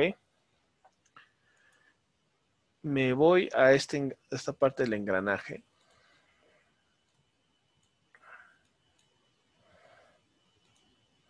Y escojo la opción que se denomina importar. Ojo, esta opción es usada para el caso de que yo tenga un curso eh, en la misma plataforma, ojo, en la misma plataforma y esté asignado a ese curso, ¿ok? Clic en importar. Obviamente, si tengo permiso de administrador, no tengo ningún problema. Y aquí, por ejemplo, veo el total de mis cursos que tengo. Yo estoy en el curso de programación, como dije, y quiero obtener información o la información del curso de programas, o perdón, de informática 1. Estoy en el curso de programación y quiero el curso de informática 1. Selecciono mi curso de informática. Hago clic en continuar.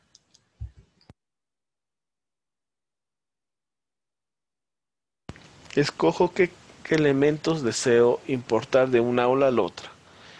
Para este caso yo solamente quiero los recursos y actividades. Voy a quitar bloques, voy a quitar, eh, voy a dejar archivos, filtros, voy a quitar grupos, competencias, campos personalizados.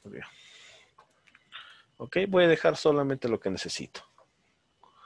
Clic en siguiente.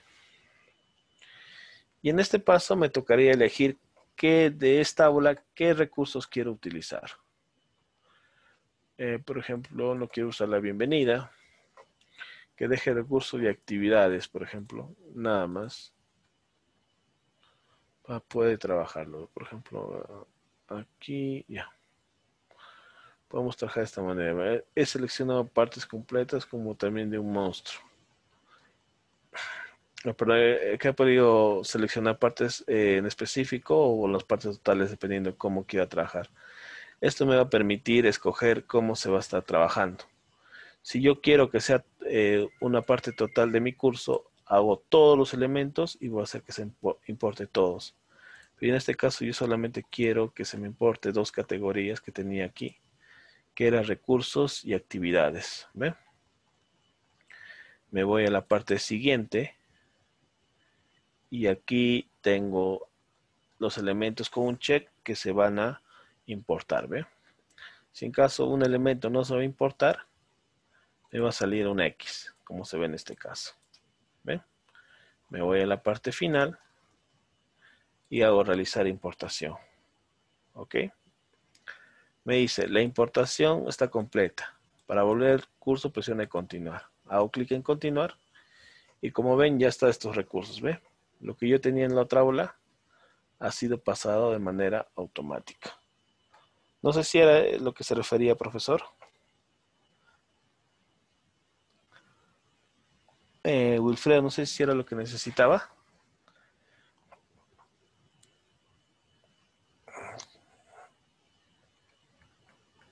Ok, listo. Ojo, profesores, eh, si en caso eh, supongamos, no están eh, la importación no van a hacerlo en la misma aula, ojo, no tiene el acceso a la misma aula. Hay otro campo que se denomina copia de seguridad. Ustedes sacarían una copia de los elementos de su aula virtual que quieren obtener, se descargarían y lo importarían en su nueva aula virtual. ¿Ok? Para ese caso. Ah, es posible duplicar. Eh, profesora Patricia, eh, ¿me puede explicar un poco más sobre un casito de cuestionario? ¿A qué hace referencia, por favor?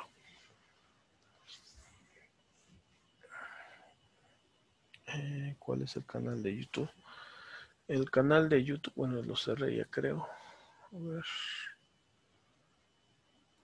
Ah, sí, ya lo cerré. Un segundito, ahorita les facilito ese, canal donde va a estar. Eh, YouTube. Ahí, por ejemplo, están ya las sesiones pasadas de reforzamiento que hubo y algunos que se está dando. A ver, ¿dónde está? Aquí está. En este canal está profesores, es el canal de la universidad, para que puedan tener. Eh, ¿Cuál es el canal para hacer la grabación? Ahí está, profesor Patricia. Por favor, un ejemplo de cualquier propuesta de cuestionario. No sé, estoy confundida. Ya.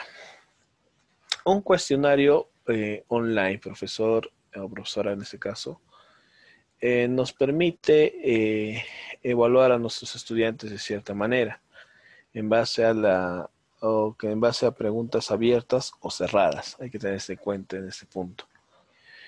Eh, cuando yo creo un cuestionario, en este caso voy a añadir un cuestionario, puedo trabajar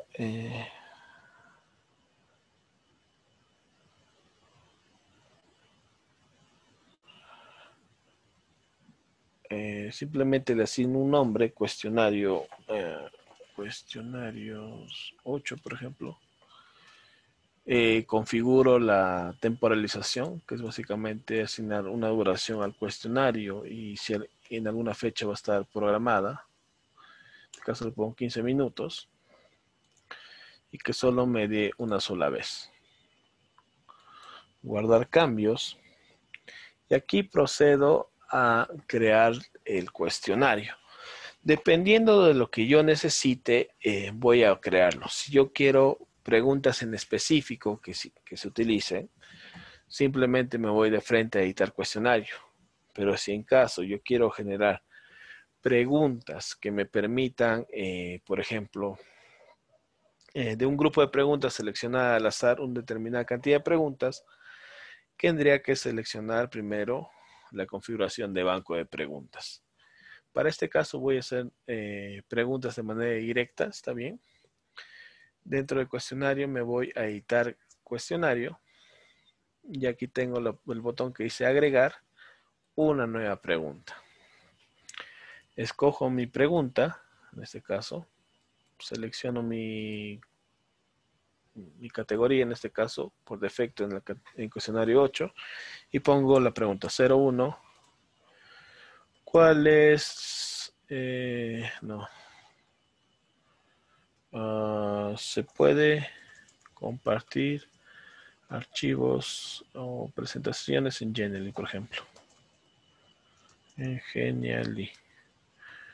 Como es de falso verdad, se asigna la respuesta correcta, en este caso verdadero.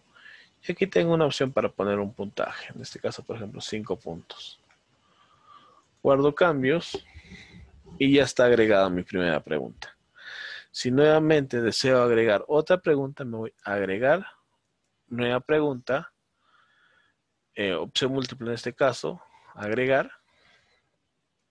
Por ejemplo, 02 eh, le pongo que es un identificador, básicamente esta parte, y el enunciado.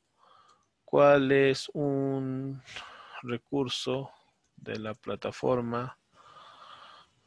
Plataforma Moodle.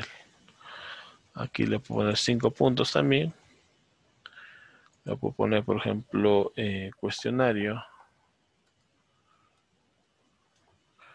Eh, eh, ¿Qué más existe? Tarea. etiqueta y foro. Cuando es un recurso, vendría a ser en este caso la respuesta la etiqueta. Asigna 100 puntos, que es el porcentaje que indica que es la respuesta correcta y guardo los cambios. Como ven, en este caso ya está, hay dos preguntas que hacen un total de 10 puntos. Si yo deseo, por ejemplo, que sea de esta manera, dejaría ahí la cantidad y ya estaría armado mi evaluación, profesor, en este caso. No sé si se entendió esa parte, profesora Patricia.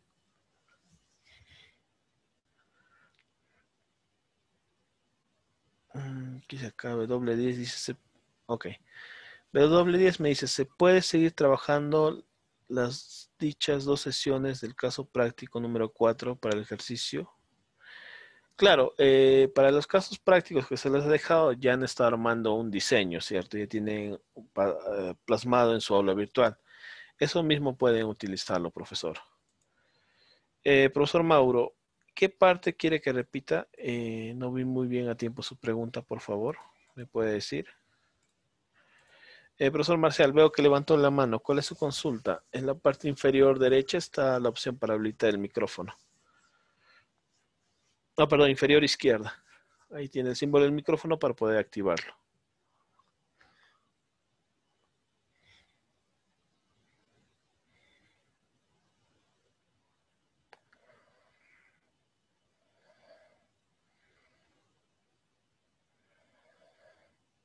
Mm, profesor Marcial, no sé, no lo puedo escuchar. En la parte inferior está el botoncito del micrófono para activarlo.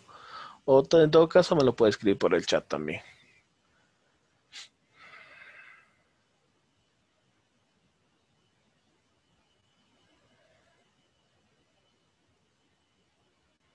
Ah, ¿cómo hacer para preguntas aleatorias? Perfecto. Lo que ahorita acabamos de crear es preguntas en específico con preguntas en específico. Nada de preguntas aleatorias, ¿ok? Es lo más sencillo que es esta parte. Cuando se trabaja una pregunta aleatoria, o una pregunta aleatoria, el proceso de creación es idéntico. Añadimos un cuestionario le asignamos un nombre, en este caso voy a poner cuestionario 9. Le voy a asignar igual un tiempo en específico, que solo tenga un intento, que es básicamente lo que hace un rato he hecho. Guardo los cambios y mostrar. Y aquí ya viene, eh, digamos, lo diferente. Cuando añadíamos preguntas en específico, que sí o sí se van a mostrar siempre, es editar cuestionario.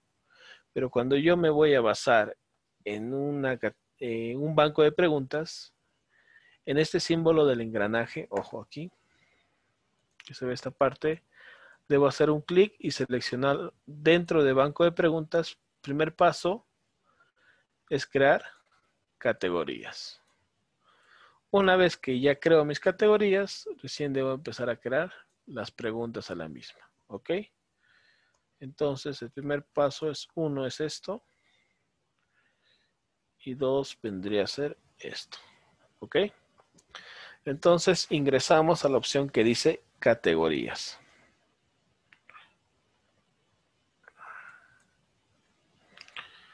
Bien, dentro de categorías, primero debo empezar a crear mis categorías donde voy a trabajar. De preferencia, siempre busquemos eh, la categoría que tiene el nombre del, de la evaluación que han creado. Por ejemplo, he creado cuestionario 09, aquí está por defecto cuestionario 09. De preferencia, profesores, es una recomendación. Me voy a este añadir categoría. Cambio en esta parte la opción de, de por defecto categoría que hice tal y lo pongo eh, categoría por defecto eh, cuestionario 09.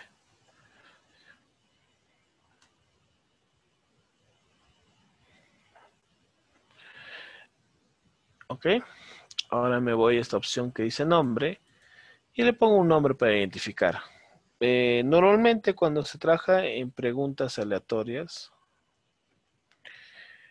eh, eh, ya es un poco decisión de cada, en este caso profesor, cómo hacer la agrupación. Algunos tienden a agrupar por temas, otros por puntajes. Ustedes ya pueden escoger la manera que más se les adecue. anteriormente he creado ya uno por temas, ahora voy a crear uno por puntajes. Voy a usar esta opción. Y vamos a crearlo de la siguiente manera, ¿está bien? Puntaje. Yo tengo mis preguntas que valen eh, por ejemplo, eh, ya, cinco puntos, ¿ok? Aquí va a ir mis preguntas que me valen cinco puntos. Creo otra categoría. Ya me va a valer 10 puntos en este caso. ¿Por qué estoy separando en este caso por puntos? Para aleatorizar un poco mejor en este caso mis preguntas. Muy bien, supongamos que ya tengo todas mis preguntas cargadas. Ahora vuelvo a la opción o me voy a la opción que dice preguntas. Muy bien. Me voy a la opción de preguntas y dentro de esta parte selecciono el banco donde voy a empezar a crear mis preguntas. Para este caso, ¿qué bancos existían? Los que eran de 10 puntos y los que eran de 5 puntos. Teníamos esos, esos dos bancos que había creado para poder trabajar. Muy bien. Primer caso, 10 puntos. Cambio mi categoría y presiono el botón de crear. Y aquí empezaría a crear todas las preguntas que tienen un peso de 5 puntos. ¿Ok? Me voy a, esta opción que dice opciones múltiples. Pongo clic en agregar. Y ya está. He creado para mi primera pregunta un tipo de pregunta de opción múltiple, que me vale, en este caso, 10 puntos, por eso lo estoy agregando en esta categoría.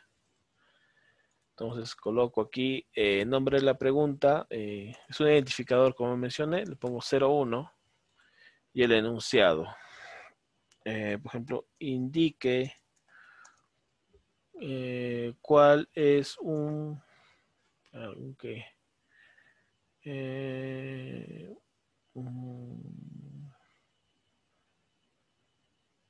Ah, se me fue. Se me fue la idea. Ah, una página para crear recursos para mis estudiantes. ¿Ok? Eh, eh, ¿Cuál? No es lo poner. Estoy creando en esta parte mi pregunta. Eh, pongo puntuación, aquí le voy a poner 10 puntos. Y empiezo a rellenar mis eh, preguntas. Por ejemplo, le pongo Canva, Prezi, Wikipedia.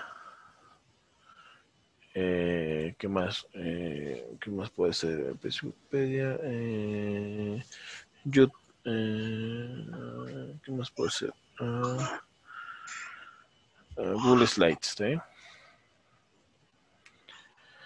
En este caso, hago clic en la respuesta correcta es Wikipedia. 100%, le pongo ¿por qué? Porque es una respuesta correcta.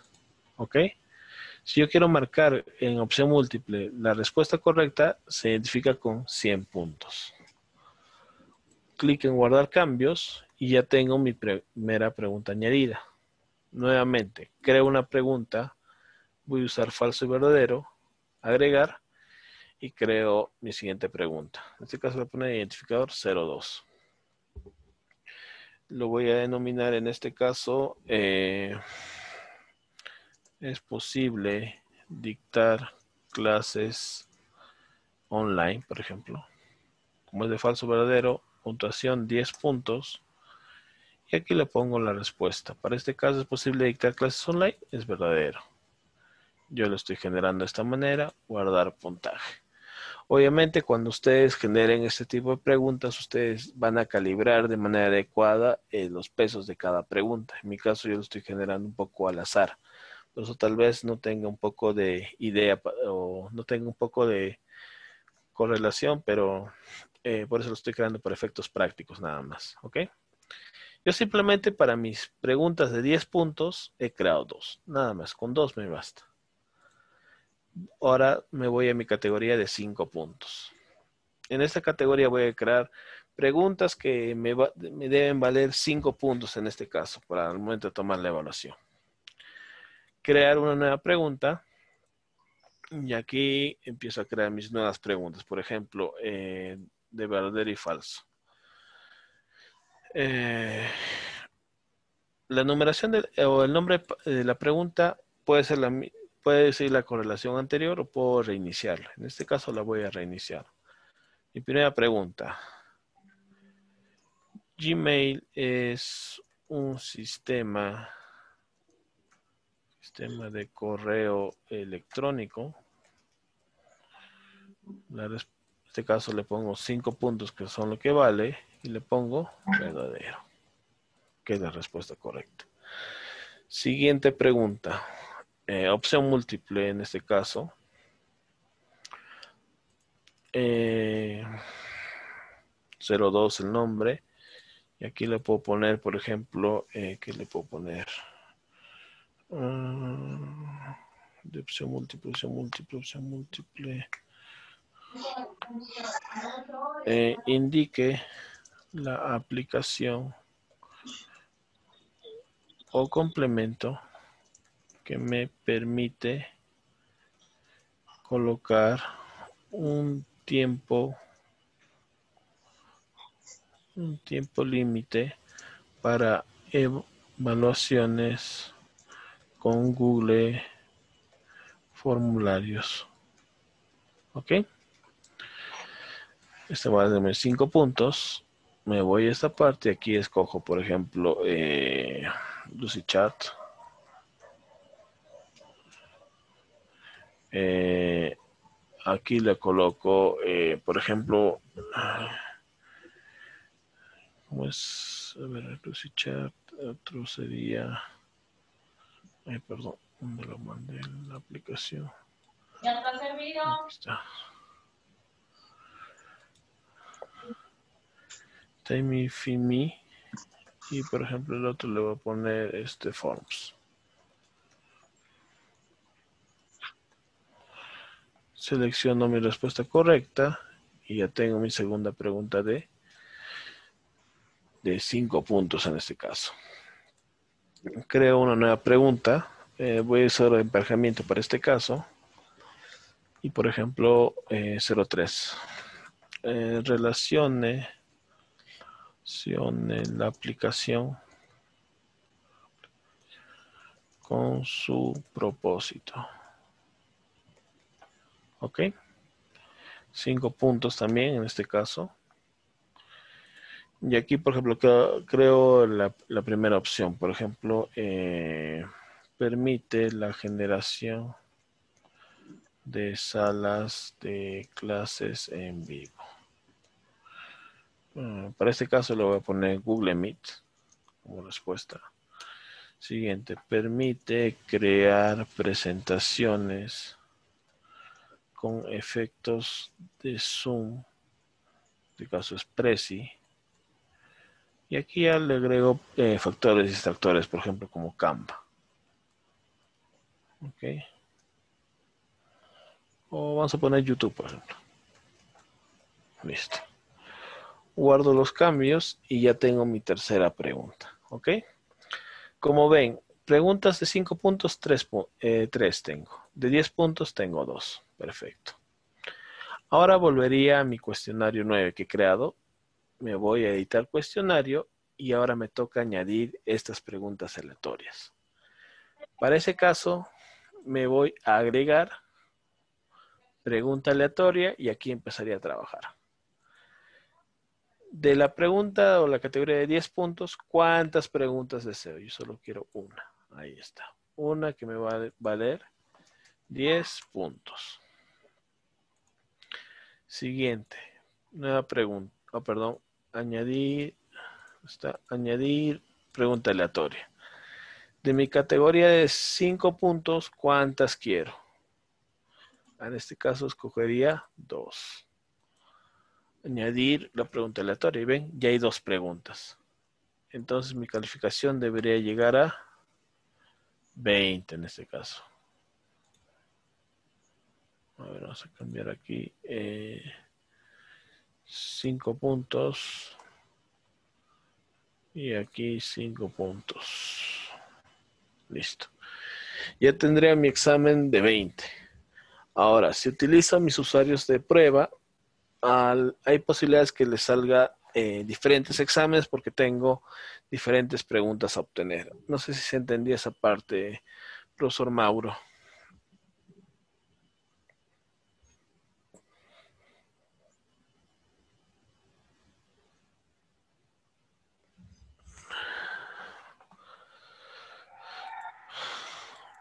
Mm, no sé si se entendió, profesor Mauro. A ver, profesor. Ah, ok, perfecto, profesor. Muchas gracias. El profesor Jorge me dice, eh, profesor, muy buenas tardes, gracias por la paciencia. Una consulta, ¿cómo podemos tener acceso a los videos grupales? Nos piden solicitar acceso. Eh, para los videos grupales, profesor, tendría que solicitarlo a su tutor para que puedan darles el acceso en este caso. Yo no tengo el acceso para esa parte, pero tendrían que hablar con su tutor. El profesor Amparo me, profesor Amparo me dice, eh, cómo hacer una infografía en Canvas. Ok. Eh, veo también al profesor Marcial que levantó la mano. Sí, profesor Marcial, lo escucho.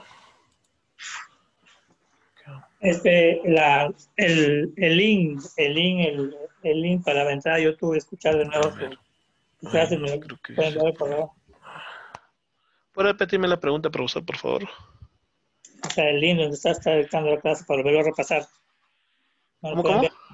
El link, el link, o sea, para entrar a ah. YouTube de su clase, para volver a repasar. Ah, eh, aquí el link les comparto nuevamente. ¿Dónde lo comparten? ¿En el correo? En el chat lo estoy partiendo de la sala, no sé si lo pueden apreciar. Ah, ya, ya. Pero, en la parte, de, aquí hay una parte de chat, ahí estoy colocando el enlace. Anteriormente, por ejemplo, eh, les puse el video de uno de los videos que se trabajó, que es de un taller de procesos de texto, eh, y aquí hablábamos de formularios, por ejemplo, que hace rato les pregunté. Eh, como les menciono, normalmente estas clases eh, mucho fluyen en base a las consultas. Y aquí, por ejemplo, como teníamos hace rato de formularios, les puse el video en, el punto donde se empezaba a hablar, para que puedan guiarse en este caso. Por los que hace rato me estaban preguntando de formularios. ¿Está bien? ya. A ver, vamos a poner esta parte aquí. Lo que la profesora ahorita me está, está mencionando es del Canva, ¿ok? En el Canva eh, tenemos, ingresamos a la plataforma. Bueno, eh, como la mayoría de aplicaciones, voy a estar esta parte. Canva tiene una opción de costo y una versión gratuita. Eh, obviamente la de costo sí es por un plan mensual y la gratuita te permite generar eh, básicamente trabajo. Tienes varias plantillas, gráficos. Eh, ojo, en este caso siempre se busca de manera, se publica de manera o se genera de manera pública. hay algunas opciones que no se va a tener acceso al momento de trabajar, pero con lo que se tiene es más que suficiente. ¿Ok? Eh, me voy a registrarme en este caso. Y aquí puedo registrarme a través de mi cuenta de correo electrónico. O si quiero usar mi cuenta en Gmail, hago clic en registrarme en Gmail. Yo ya tengo una cuenta previamente creada.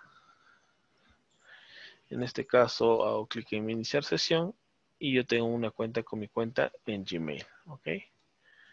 Selecciono mi cuenta en Gmail y ya tengo esta parte del trabajo.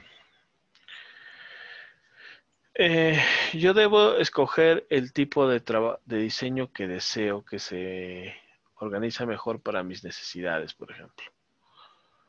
Eh, si nosotros revisamos al momento de ingresar en la parte superior, eh, nos da opciones de trabajo. Por ejemplo, acá tengo tipo folleto, flyer, póster, presentación, un post de Instagram, video, entre otros. Como la profesora me menciona, infografías, Aquí voy a poder encontrar una infografía.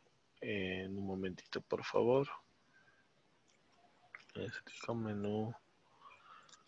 A ver dónde está infografía. Creo que ya lo pasé.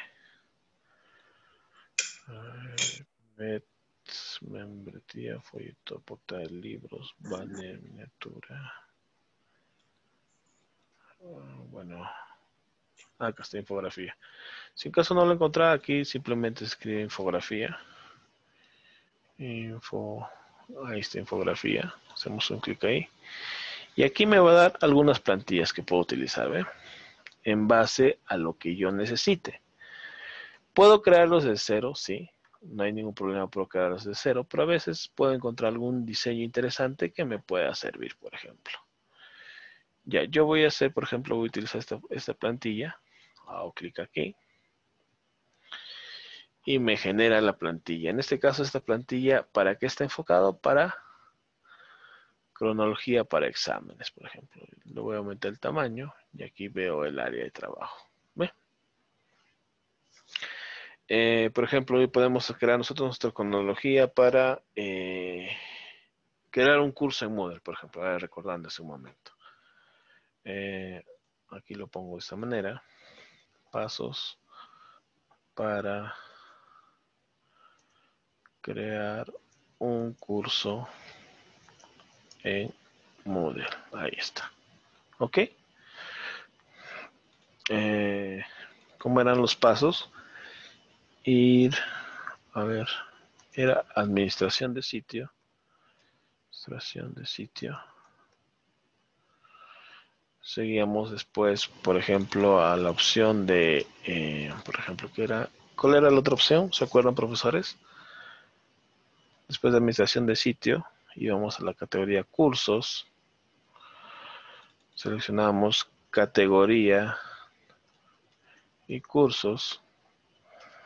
Y eh, cursos, crear curso. Crear curso, por ejemplo. Curso. Y ya, supongamos que nada más. Y este elemento lo voy a quitar simplemente. ¿eh? Como este en un formato editable. Y yo puedo ir mejorándolo, corrigiéndolo en base a lo que necesite. Ya está, ¿ve? Puedo ir acomodando mejor esta parte de los diseños.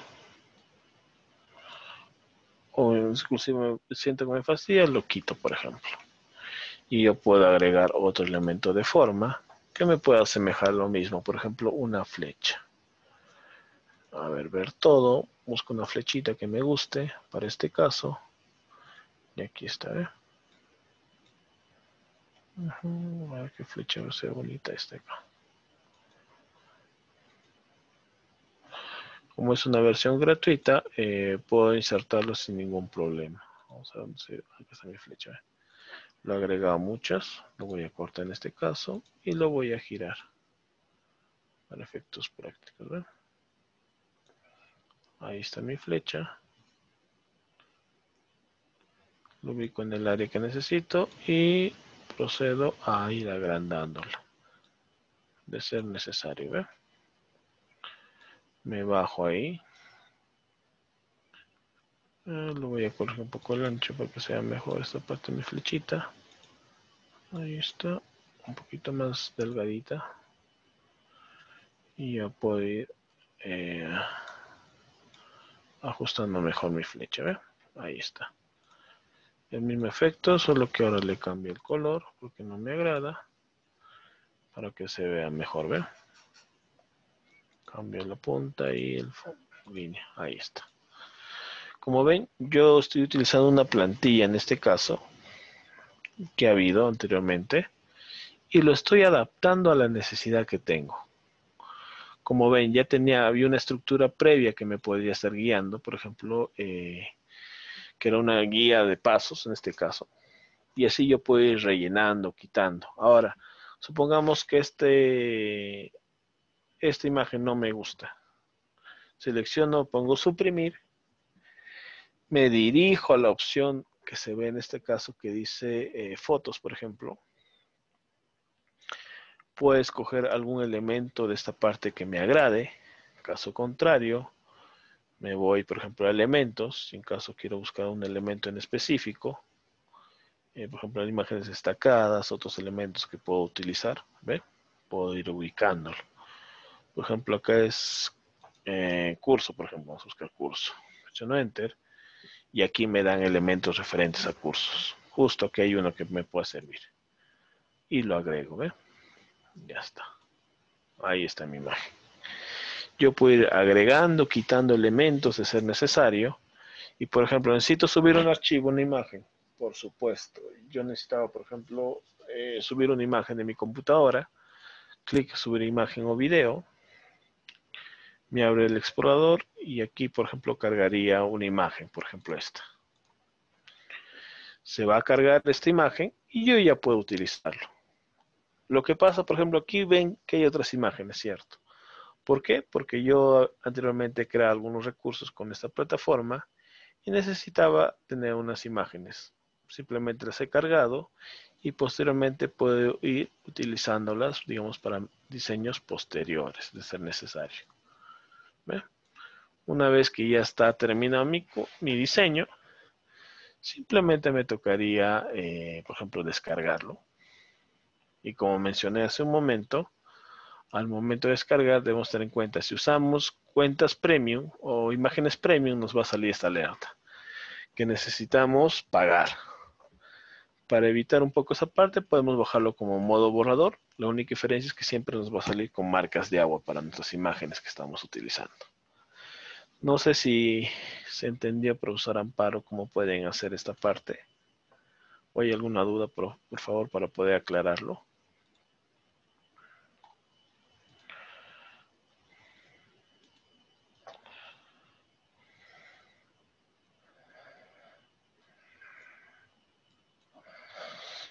De esta manera eh, pueden ir generando eh, diseños un poco profesionales referente a esta manera.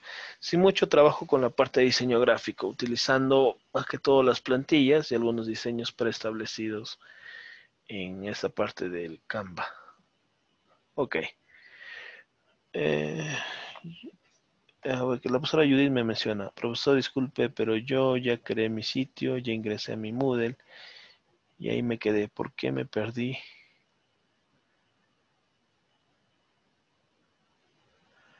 Ah, profesora Judith, no entiendo muy bien la consulta. Me dice usted, por ejemplo, eh, que ya creó su sitio, ingresó al Moodle, pero ahí me quedé. ¿Por qué me perdí? Explicando. Ah, normalmente en las sesiones, profesora, explico varios temas, como ya están en, puntos avanzados. Eh, me enfoco en algunos temas para que puedan quedarles claros sobre una parte. ¿Cómo genero el enlace para una clase grabada? Gracias.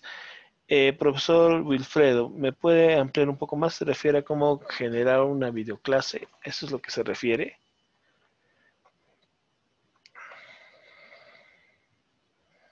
Ah, ok. Y que se pueda grabar. A ver, profesor. Eh, actualmente eh, las opciones de grabación están siendo muy limitadas en algunas plataformas.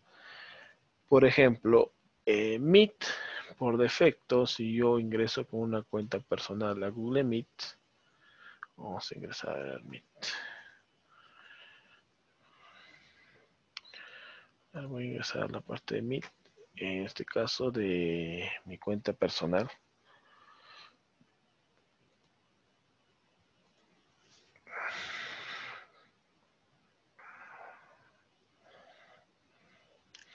Si yo me voy a estas opciones de aplicaciones y selecciono la opción de Meet, que cargue,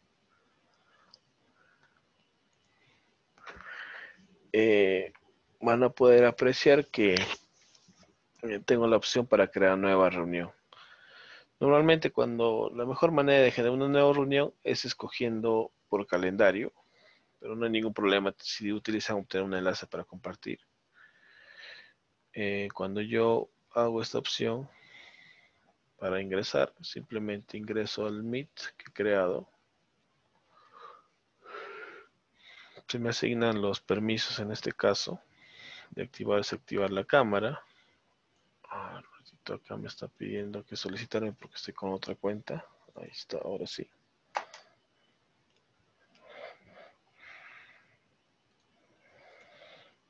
Mm, de esta manera ingreso a mi sala y ya puedo trabajar. Ahora, Meet eh, en las cuentas gratuitas no tiene una opción de grabación actualmente activada. Se ha desactivado esa posibilidad de grabar. Eh, Zoom, tengo entendido que también maneja las mismas opciones de bloqueo. Ah, hay una aplicación adicional que he visto eh, que creo que sí tiene la opción de grabación. Me dan un segundo para verificar.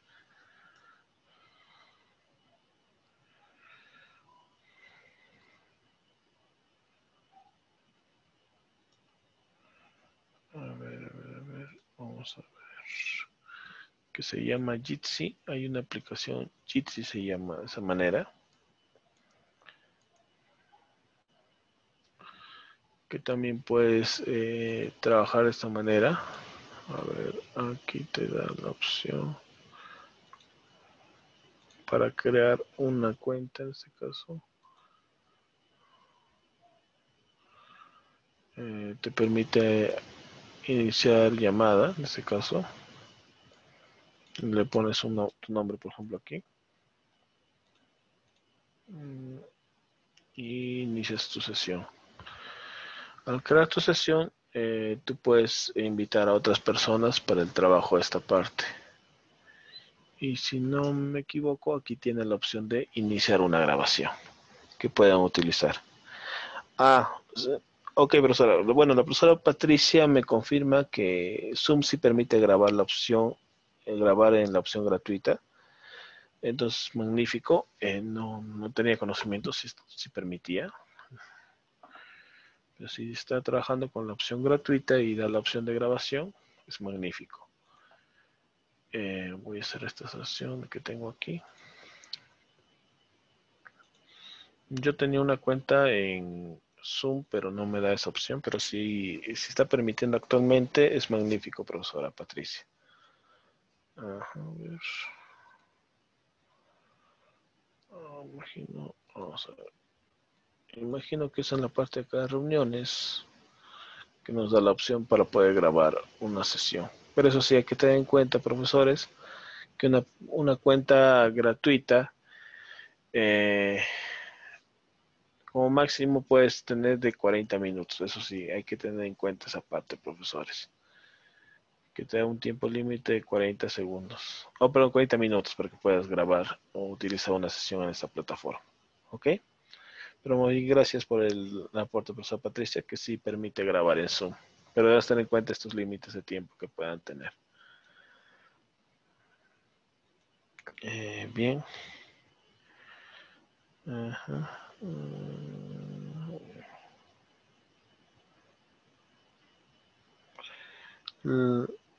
La profesora eh, Judith nos menciona cómo hago para crear un curso. Ah, ok. Bueno, nuevamente explicando un poco del curso, ¿está bien? Nosotros, eh, cuando creamos un curso, profesores, siguiendo nuestra, nuestro ejemplo de lo que hemos realizado, primer caso es ir a la administración de sitio, ¿ok? Dentro de mi aula virtual, administración de sitio. Eh, revisándonos esto, nos dirigimos a la opción de cursos, cursos, ahí está, categorías y cursos. Aquí dice, bueno, acá nos faltó corregir, no es categoría de curso, sino administrar categoría y curso. Administración de categorías y cursos. Ya está. Nos dirigimos aquí la opción que dice crear nuevo curso. ¿eh? Aquí está el botón que dice crear nuevo curso. Hacemos un clic en esa parte. Y aquí empezaremos a completar la información que se nos pide. Los campos obligatorios principales vienen a ser estos. Asignarle un nombre completo. Aquí puedo escribir el nombre largo, como quiero que se vea. ¿Qué quiero, por ejemplo? Y en la otra opción es un nombre corto que sí, básicamente nos va a servir como identificador. ¿Ok? Una vez que rellenamos esos campos, profesora Judith, eh, guardamos los cambios y se va a crear nuestra, nuestro curso en el aula virtual. No sé si se entendió, profesora Judith, o quiere que termine esta parte de completar.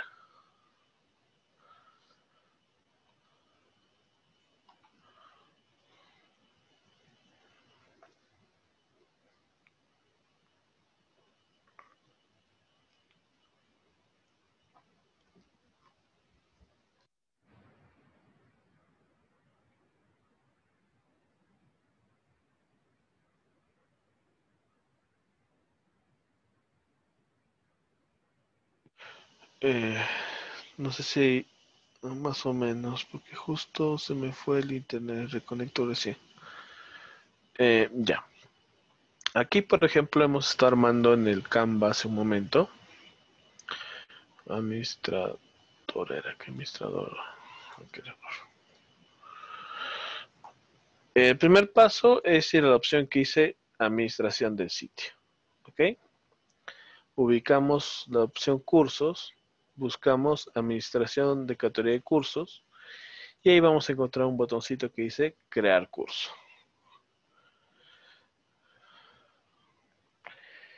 Eh, por ejemplo, acá me dicen, me equivoqué al colocar el nombre del curso. ¿Cómo lo corrijo? Perfecto, profesor. Supongamos en este curso que he creado, ¿ok? Justo acá también me equivoqué. No puse programación, puse Promacoon, ¿ok? ¿Cómo corrijo este nombre? Me voy a esta parte de que se ve el engranaje, acá, este engranaje.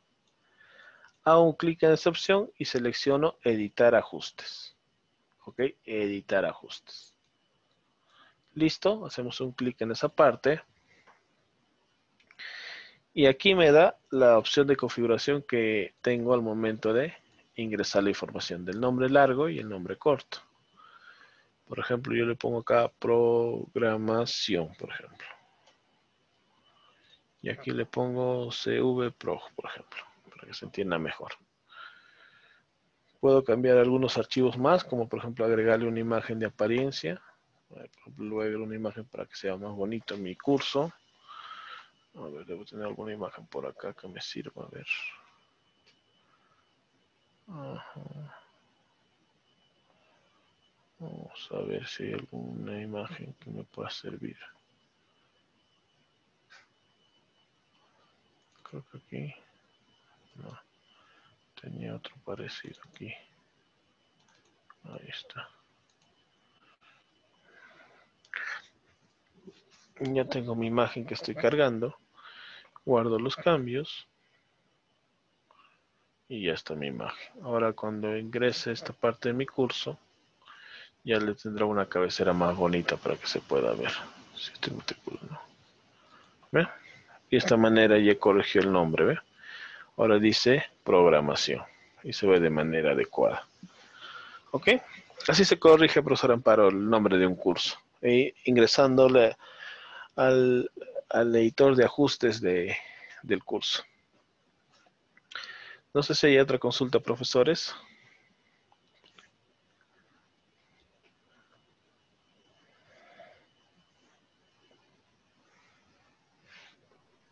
Para eliminar el, un curso.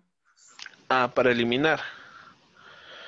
Eh, supongamos que quiero eliminar este curso a distancia, ¿está bien? Tengo que ir a la administración de sitio. Eh, en sí, no es muy usual la eliminación de cursos. Normalmente es más es la desmatriculación de participantes. Pero si yo me voy a cursos, administración, cursos y categorías, aquí tendría, por ejemplo, el curso, en distancia, ¿cierto? Ahí está el curso de promoción. Acá tendría la opción, ¿ve? Debajo del botón crear nuevo curso, me va a ver la lista de todos los cursos que están creados en ese momento.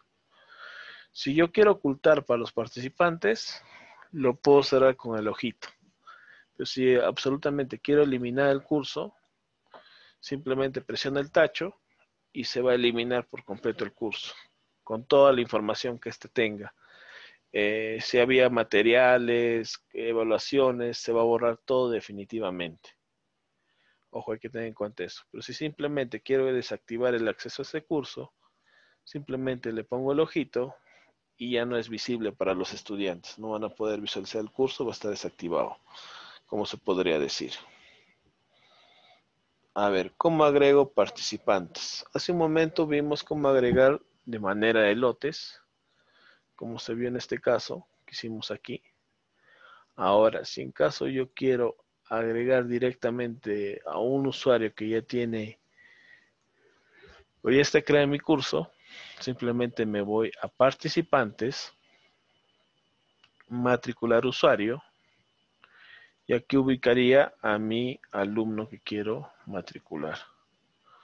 En este caso tendríamos que buscar por correo o por nombre para poder ubicarlo. Seleccionaríamos y matricular.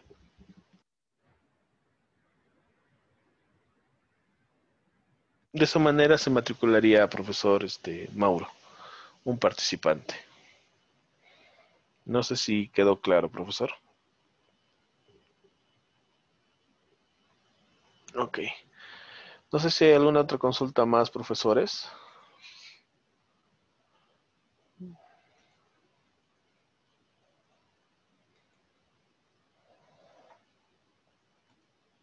Bien, profesores, creo que no hay más consultas.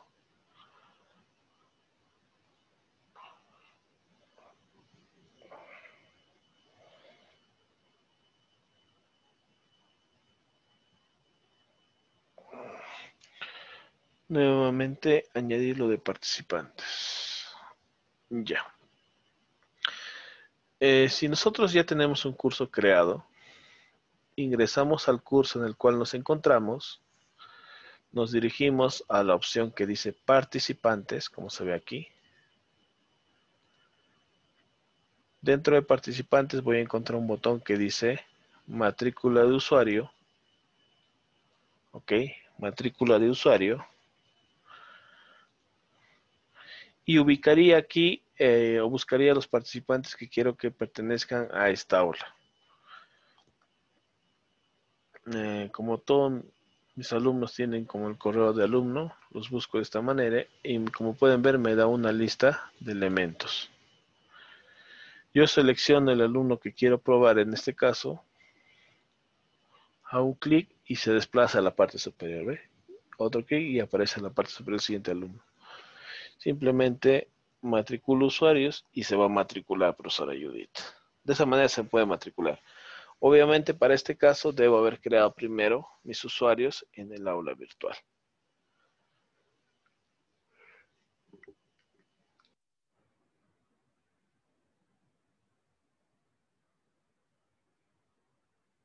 No sé si se entendió, profesora Judith. Ok, no sé si hay alguna consulta más, profesores.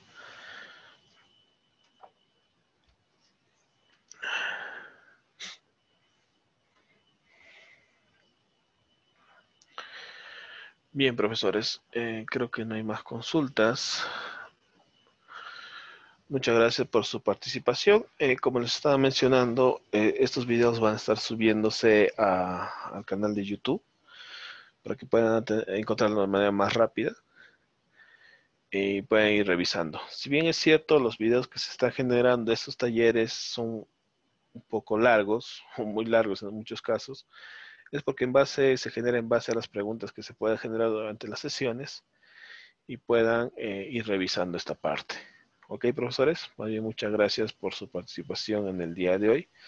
Nos estamos viendo en la siguiente sesión. Cuídense. Gracias, profesor. Muchísimas gracias, profesor. Gracias. Ok, profesores. Hasta luego.